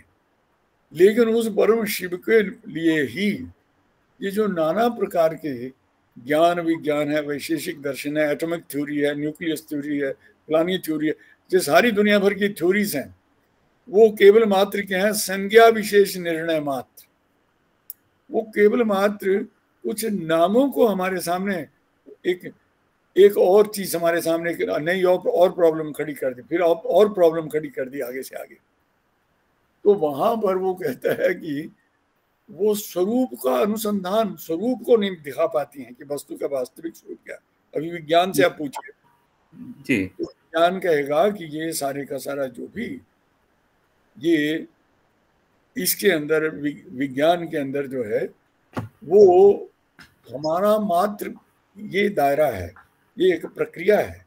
विज्ञान में तुमने ब्रह्म को प्राप्त कर लिया तुमने ईश्वर को नहीं किया नहीं ये प्रश्न सारे गलत हमारा ये प्रश्न नहीं है हमारे लिए। विज्ञान का प्रश्न ये है कि मैं जो मेरे को नियम है वो एक प्रक्रिया है वो। तो प्रक्रिया विशेष कभी भी किसी उसमें अनु वो उसमें उस तरह के फाइनलिटी में नहीं पहुँचती है। वो उस तरह के स्वरूप के अंदर नहीं वस्तु के स्वरूप में क्योंकि वस्तु का स्वरूप पाने के बाद जो एक धारण शक्ति आती है वो धारण की अपेक्षा वहाँ पर यह है कि नहीं एक प्रक्रिया है निरंतर चलती रहने वाली। उसमें धीरे धीरे परिवर्तन होता रहता है। मैंने आज ये थ्योरी निकाली फिर उसने कल को और बदला। तो इसलिए वो विज्ञान जो है वो क्योंकि रिलेटिवली उसमें नए से आ, निरंतर चलता रहता है और फिर दूसरी संभावनाओं को समाप्त कर देता है उस कारण से उसको बंधन का हेतु मान लिया जाता है। कि साइंस की दिशा में गया हुआ आदमी या उसको आप कहें कि आओ, आज हम थोड़ा शिवरात्रि है। तो वो कहेगा कि तो मैंने क्या करना है, शिवरात्रि है तो भाई। लेकिन अगर मुझे कोई कहेगा, वैज्ञानिक अगर कहेगा कि आओ, हम उसमें तो मैं उस संभावना को लेकर के चला जाऊँगा कि नहीं, न्यूक्लियस क्या मुझे से समझना चाहिए। इसलिए वहाँ पर शिवता के अंदर जो है, वो चाहे अज्ञान जो है वो भी एक आवरण मात्र। अज्ञान वहाँ पर मूर्ता ऐसी अज्ञान का अर्थ ये नहीं है। उसको अज्ञान को कंचुक माना है कि जिसे शिव ने स्वयं वर्ण किया अपने ऊपर। स्वयं ही साधु भोला बन गया है। जी।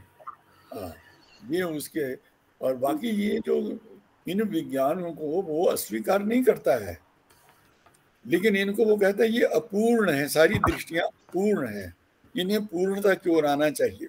जी। अपूर्णता ही अज्ञान है। जी। दो और संक्षिप्त से वक्तव्य ले लेते हैं। डॉक्टर आनंद गुरिये जी महाराष्ट्र से हैं और उसके बाद डॉक्टर रूपिका भनोट जी। फिर हम इस सारे समाचार को सारे विचार चर्चा को समाप्त करेंगे। जी मेरा नमस्कार। आ, मेरा एक ही प्रश्न हाँ। आप सदाशिव मूर्ति के ऊपर कुछ बोलेंगे? जो रुद्र महेश्वर और सांब सदाशिव की आ, होती है। जो एलिफेंटा में दिखाई देती है। एलिफेंटा में बहुत देर हो गई मुझे देखे हुए। अब मेरी स्मृति में नहीं है। ले, लेकिन सदाशिव में जो स्वरूप उसमें आ, कश्मीर शैविज्म में जो स्वरूप आता है उसके बारे में जानना चाहेंगे? ज़रूर। क्योंकि एलिफेंटा में जो मैंने देखा बहुत मुद्दत हो गई। सन छियासठ सतासठ के लगभग देखा हुआ है। तो अभी वो मेरी उसके स्मृति में नहीं है। लेकिन उसमें ये है कि ये जो ऊपर से जो हम अवतरण की प्रक्रिया लेते हैं कि वो जब परम जो शिवता है उसमें जो आ, ये जो जब विकास की प्रक्रिया शुरू होती है प्रकाश जो है वो उसके विमर्श का उदय होते ही जो स्थिति है उसमें ये परम शिव परम शिव से शक्ति और शक्ति से दूसरी अवस्था जो आ जाती है, वो सदाशिव की अवस्था है। सदाशिव अवस्था में क्या है कि वो सकल शिव का जो ऊपर स्वरूप बनाया हमने, वो क्या है? एनर्जाइज कॉन्शियसनेस उसको हम कह देते हैं अंग्रेज़ी में। वो ऐसी चेतना जो शक्ति जिसके अंदर जागृत, जिसमें शक्ति जागृत हुई है, लेकिन अभी प्रस्फुटन नहीं, प्रस्फुटन की स्थिति में नहीं है। बिल्कुल महसूस ही नहीं होगा। ऐसी एक बिल्कुल समस्थिति है। और शक्ति के अंदर जो है वो उसमें वो कॉन्शियस एनर्जी वो एनर्जी जो है वो कॉन्शियस हो गई है। और यहाँ पर उसमें सदाशिव स्थिति के अंदर ये है कि कॉन्शियस एनर्जी जो है वो वो उसमें इन वाइब्रेशन लेकिन अभी भी वो तरलता की स्थिति में है। वो एक एनर्जी का, शक्ति का, वो जो शिव का जो प्रकट रूप है, उसमें वो अहम और इदम के जो दोनों तत्व हैं, वो बिल्कुल अत्यंत सूक्ष्म रूप के अंदर विद्यमान है उसके अंदर। लेकिन सदाशिव से ही आगे जो सृष्टि का आगे चलेगा, समझे? तो सदाशिवता जो है, वो एक प्रकार से एक विश्वोन्मुख शिवता का मूल जो है जहाँ से सृष्टि की प्रक्रिया आरंभ होती है क्योंकि वो उसमें जो वाइब्रेशन जो स्पंद है जो प्रथम स्पंद प्रस्फुटन की ओर जो स्पंद आता है प्रथम स्पंद वो उस ऊर्जा का प्रथम स्पंद जो है उसको सदा शिवता की स्थिति स्वीकार करते हैं लोग। तो उस ढंग से आ, लेकिन वो जो सांब सदाशिव की स्थिति है वो उसमें थोड़ा दाक्षिणात्य दृष्टि से वहाँ पर जो है उसने एक वो है तो वो उनका अपना दृष्टिकोण जैसे भी है कि लेकिन वो सदाशिव का वहाँ जो स्वरूप है, सांब सदाशिव का जो स्वरूप है, वो भक्तों के लिए वो परम स्वरूप है उनका, कि वो पार्वती सहित उनका जो स्वरूप है और पूरा वो परिवार वाला जो स्वरूप है उनका आ, वो उसके अंदर रहता है। और उसके विषय में ज़्यादा मैं अभी नहीं कह पाऊँगा जी और अंतिम जो है डॉक्टर रूपिका जी? हम्म, अपने को अनम्यूट कर लें। जी। बड़े गुरु जी को सादर नमन। आ, मैं ये पूछना चाहती हूँ कि ज्ञान प्रकाश या चेतना के विभिन्न स्तरों की बात जो आपने अपने व्याख्यान में की है वो लोक और समाज के विभिन्न स्तरों के संदर्भ में अत्यंत सार्थक है सटीक है हमें हमारे भीतर स्थिर भी करने वाली। है लेकिन इस ब्रह्मांड में अंतरिक्ष में हम्म। ऐसी भी जगहें हैं उसका व्यापक विस्तार इतना है जहाँ पर लोग देश समाज नहीं है तो हम्म। वहाँ हम शिव के स्वरूप को कैसे समझेंगे देखिए ना हम शिव को किसी एक स्वरूप से जब बांधने का प्रयास करते हैं ना एक हम उसे रूपायित करने का प्रयास करते हैं और रूपायित कलाकार लोग जो हैं वो रूपायित करते भी हैं। लेकिन इसमें हम जब ध्यान करते हैं तो ये ध्यान दीजिए उस मैंने जो दक्षिणा मूर्ति स्त्रोत्र का श्लोक बताया था नौमा। भूरंभान सनलो निलोम्बर महर नाथो हिमांशु पुमान। उसमें शून्यों की भी कल्पना शैवों ने की है। वो बीच में जो स्पेस आता है, उस स्पेस में उसका नाम उन्होंने शून्य रखा है। तो एक शून्य से दूसरे उस शून्य को पार करते हुए दूसरे तत्व तक पहुँच गए। वहाँ से उस शून्य तो वहाँ एक विराट, उसके अंदर एक अलग किस्म का जगत, एक अलग किस्म की, एक उसमें मोटे मोटे तौर पर तो उन्होंने 118 भुवन के करीब माने, लेकिन उसके अतिरिक्त भी बहुत बड़ी संख्या, भुवनों की संख्या जो है, वो बहुत बड़ी संख्या है। इसलिए वहाँ पर भी, उन भुवनों के अंदर भी, ये जो शैवी जो संदर्भ है, उस शैवी संदर्भ में वहाँ पर भी जो लोग हैं, उनके अंदर उस रूप में भी शिव प्रतिष्ठित हैं। शिव केवल मात्र ये मर्त्य लोक तक, जब भूलोक तक की तो सीमा नहीं है उनकी। जी। यस्मात परस्मात विभो उसका जो अंतिम पंक्ति है ना हम्म। नान्यत किंचन विद्यते विमृशताम यस्मात परस्मात विभो। जिसका चिंतन करते हुए उससे भिन्न और कुछ नज़र ही नहीं आता है।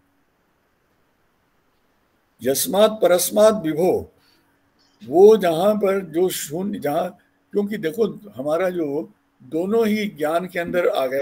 अभाव भी अभाव क्या है? ज्ञान मूलक अभाव का भी ज्ञान होता है ना आपको? तो अभाव भी ज्ञानात्मक है। भाव भी ज्ञानात्मक है। तो भाव और अभाव दोनों ही ज्ञानात्मक हैं। और ज्ञानात्मक जो ज्ञान है वो ज्ञान का मूल चैतन्य है। तो जहाँ भी ऐसी कोई स्थिति है ही नहीं है जहाँ पर शिवता का समावेश ना हो। जी ठीक एक एक मेरा और प्रश्न है। हाँ। शिव को रुद्र क्यों कहा जाता है? रुद्र का रुद्र पद का दरअसल में जो प्रयोग है वो वैदिक प्रयोग पहला है। तो उसमें जो वैदिक प्रयोग है उसमें एक आर्टिकल मैंने लिखा हुआ है रुद्र से साक्षात्कार। वो में प्रकाशित भी है तो वहाँ ये वे, वेद में ही इसका रेफरेंस आता है कि सो अरोदित उसने रुदन किया। तो वो उसने रुदन किया और वो उससे उसका नाम रुद्र पड़ गया है। ये स्थूल रूप में बात कही गई वहाँ पर। तो उसमें आ,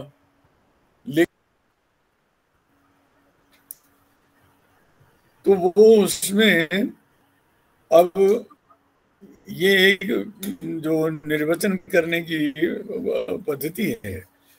लेकिन रुद्र शब्द का जो है वो एक क्रोधीश के रूप में क्रोध के स्वामी जैसे होते हैं। तो उसका स्वरूप जो है वो हमें मिलेगा कि वेद के अंदर जो उसका आया कि वो रुद्र जो है वो उसमें एकादश रुद्रा, फिर कहा असंख्याता रुद्रा भूम्याम। ये ग्यारह रुद्र जो है मुख्य हैं और फिर ग्यारह के अतिरिक्त फिर असंख्यात भी कह दिया उसको कि असंख्य रूप में है। तो उसमें ये जो रुदन करना है वो रुदन का अभिप्राय समझना पड़ेगा कि शिवता का आ, ये मैं समझता हूँ कि एक उस सारी सिंबोलॉजी को एक्सप्लेन करना पड़ेगा इसमें। रुद्र का स्वरूप स्पष्ट करने के लिए। हम्म, तो ये रुद्रा अधिभूम्याम वो वैदिक मान्यताओं के अनुसार रुद्र पद को व्याख्यात करने में थोड़ा सा विस्तार चाहिए और वो उसमें बालक उसमें बालक रूप के अंदर वो रुद्र का स्वरूप कैसे प्रकट हुआ और फिर वो कैसे अग्रसर होता है वो लंबी चौड़ी कथा बन जाएगी वो। हाँ वैसे ये हाँ, ये भी जानना रुचिकर रहेगा कि रुद्र को लेकर के यज्ञ तो है लेकिन शिव को लेकर यज्ञ उस प्रकार नहीं होते। रुद्र की यज्ञ यज्ञ स्वीकार्यता तो है। रुद्र का ऐसा है शत रुद्रीय यज्ञ लेकिन हाँ, शत शिव यज्ञ ऐसा कोई नहीं सुना। नहीं मैं वो दरअसल दरअसल में क्या है कि वो यज्ञ के साथ संबंध उसका ये है कि जो अरणी लकड़ियाँ है ना जी। वो अरणी लकड़ियों में बिल्कुल वही प्रक्रिया अपनाई जाती है। अब थोड़ा सा मैं बता देता हूँ तुम्हें कि वो लकड़ियाँ अरुणी जो है नीचे जो है वो अरुण दोनों लकड़ियों के बीच में जब उनका संघर्षण होता है जी। तो संघर्षण उनका जो है वो एक प्रकार का रुदन है। जी। वो जो शब्द उत्पन्न होना है ना हम्म, हम्म। वो संघर्षण है। उस संघर्षण से जो उत्पन्न होता है वो अग्नि उसका नाम रुद्र होता है। अच्छा। वो जो अग्नि उत्पन्न हुआ फिर उसको हमें बालक रूप में उसने क्रंदन किया। जी। वो जब संघर्षण हुआ संघर्षण में वो पैदा हुआ और साथ ही उसके मंत्र बोलने आपने शुरू कर दिए। फिर उसमें घी डाला आपने उसको परिपुष्ट किया। फिर वो उसमें अग्रसर हो गए। फिर वो अग्रसर होते होते उसमें वो पूरे कुंड के अंदर अग्नि जो है उसमें सप्त जिभा साथ उसमें उसकी जीभें लपलपाने लगी। नीली पीली हरी लाल कई तरह के उसमें सप्त जिभा कहते हैं सप्त ले लाए थे झड़ची उसकी लपटे जो है वो निकलने लगी। अब वो युवा हो गया। अब उसमें आप जो आहुतियाँ देते हो तो उसको शिव को इसलिए नहीं स्वीकार शिव वो कहते कृष्णा द्वार केंद्र योनि भुजुगपति तनुस्तम तक कुंडलीशा। हे शिव वो जो अग्नि है वो ऊपर की ओर जो चढ़ने वाला अग्नि है हमेशा ऊपर की ओर ही जा रहा है। हम्म। लेकिन धुएँ से वो आवृत थोड़ा सा है ऊपर क्योंकि भौतिक अग्नि है लकड़ियों से जलने वाला है अग्नि। इसीलिए वो जो अग्नि है वो अग्नि ही एक प्रकार से रुद्र के रूप में प्रकट होता है। ठीक। इसलिए यज्ञ के अंदर रुद्र का तो संबंध है उसमें। हम्म। क्योंकि वो अग्नि जो है रुद्र का भी रूप जो है वो क्रोध रूप ही है।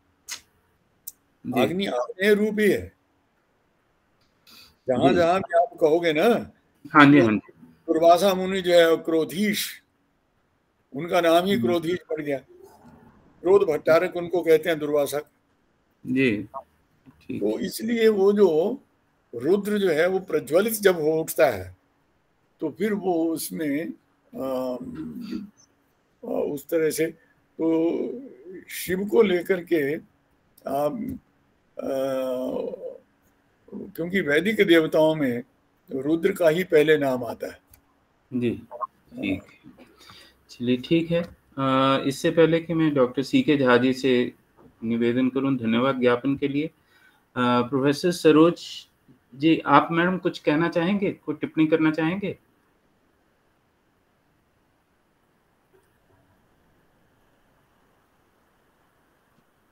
जी आशुतोष जी?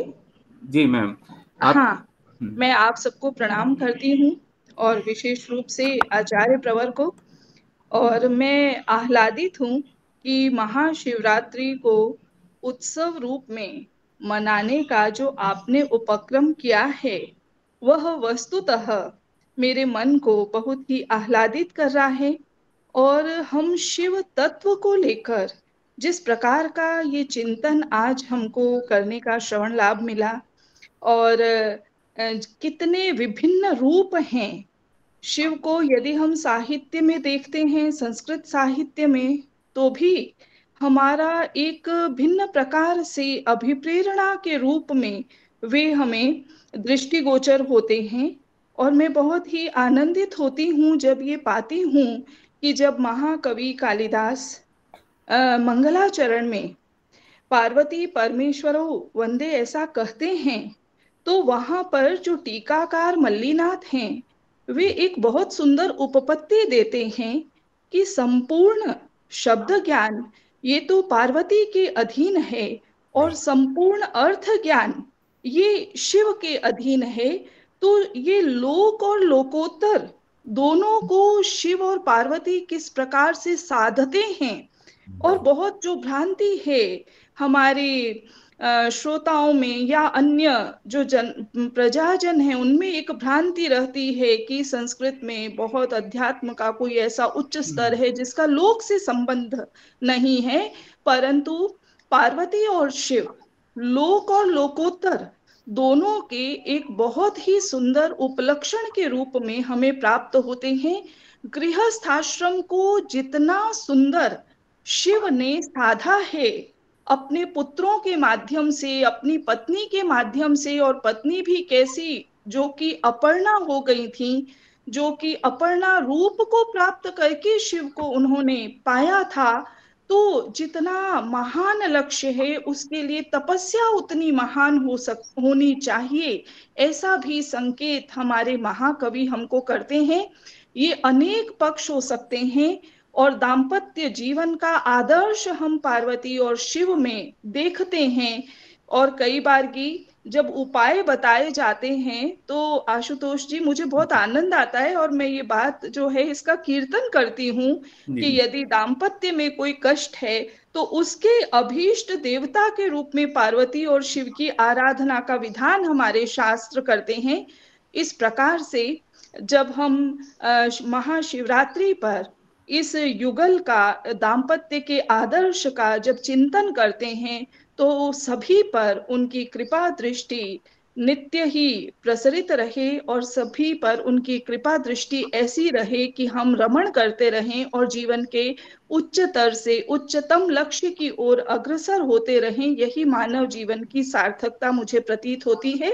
मैं भगवान शिव और पार्वती के चरणों में प्रणाम करते हुए आप सब आचार्यों के चरणों में प्रणाम करते हुए अपनी बात को टिप्पणी को यहाँ समाप्त करती हूँ। बहुत बहुत धन्यवाद। धन्यवाद मैम। और बिल्कुल आपने सही ये बात कही है कि अगर कोई सफल गृहस्थ है तो वो शिव पार्वती का ही गृहस्थ सफल है।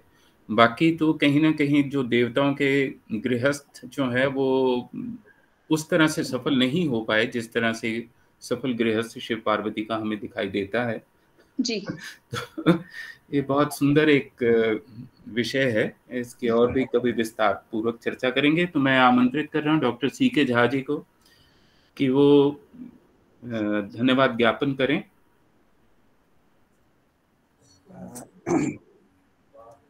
सर्वप्रथम आज शिवरात्रि, महाशिवरात्रि का पर्व और उस पर्व के दिन में हम सबको महाशिव रात्रि के अवसर पर ये कहें कि ये जो आयोजन आपने किया है और उसके साथ साथ जो हम ये कहें कि विभिन्न शास्त्र, जितने भी शास्त्र है, वो शास्त्र सब एक रूप में समेट कर हमारे परम आदरणीय गुरु जी ने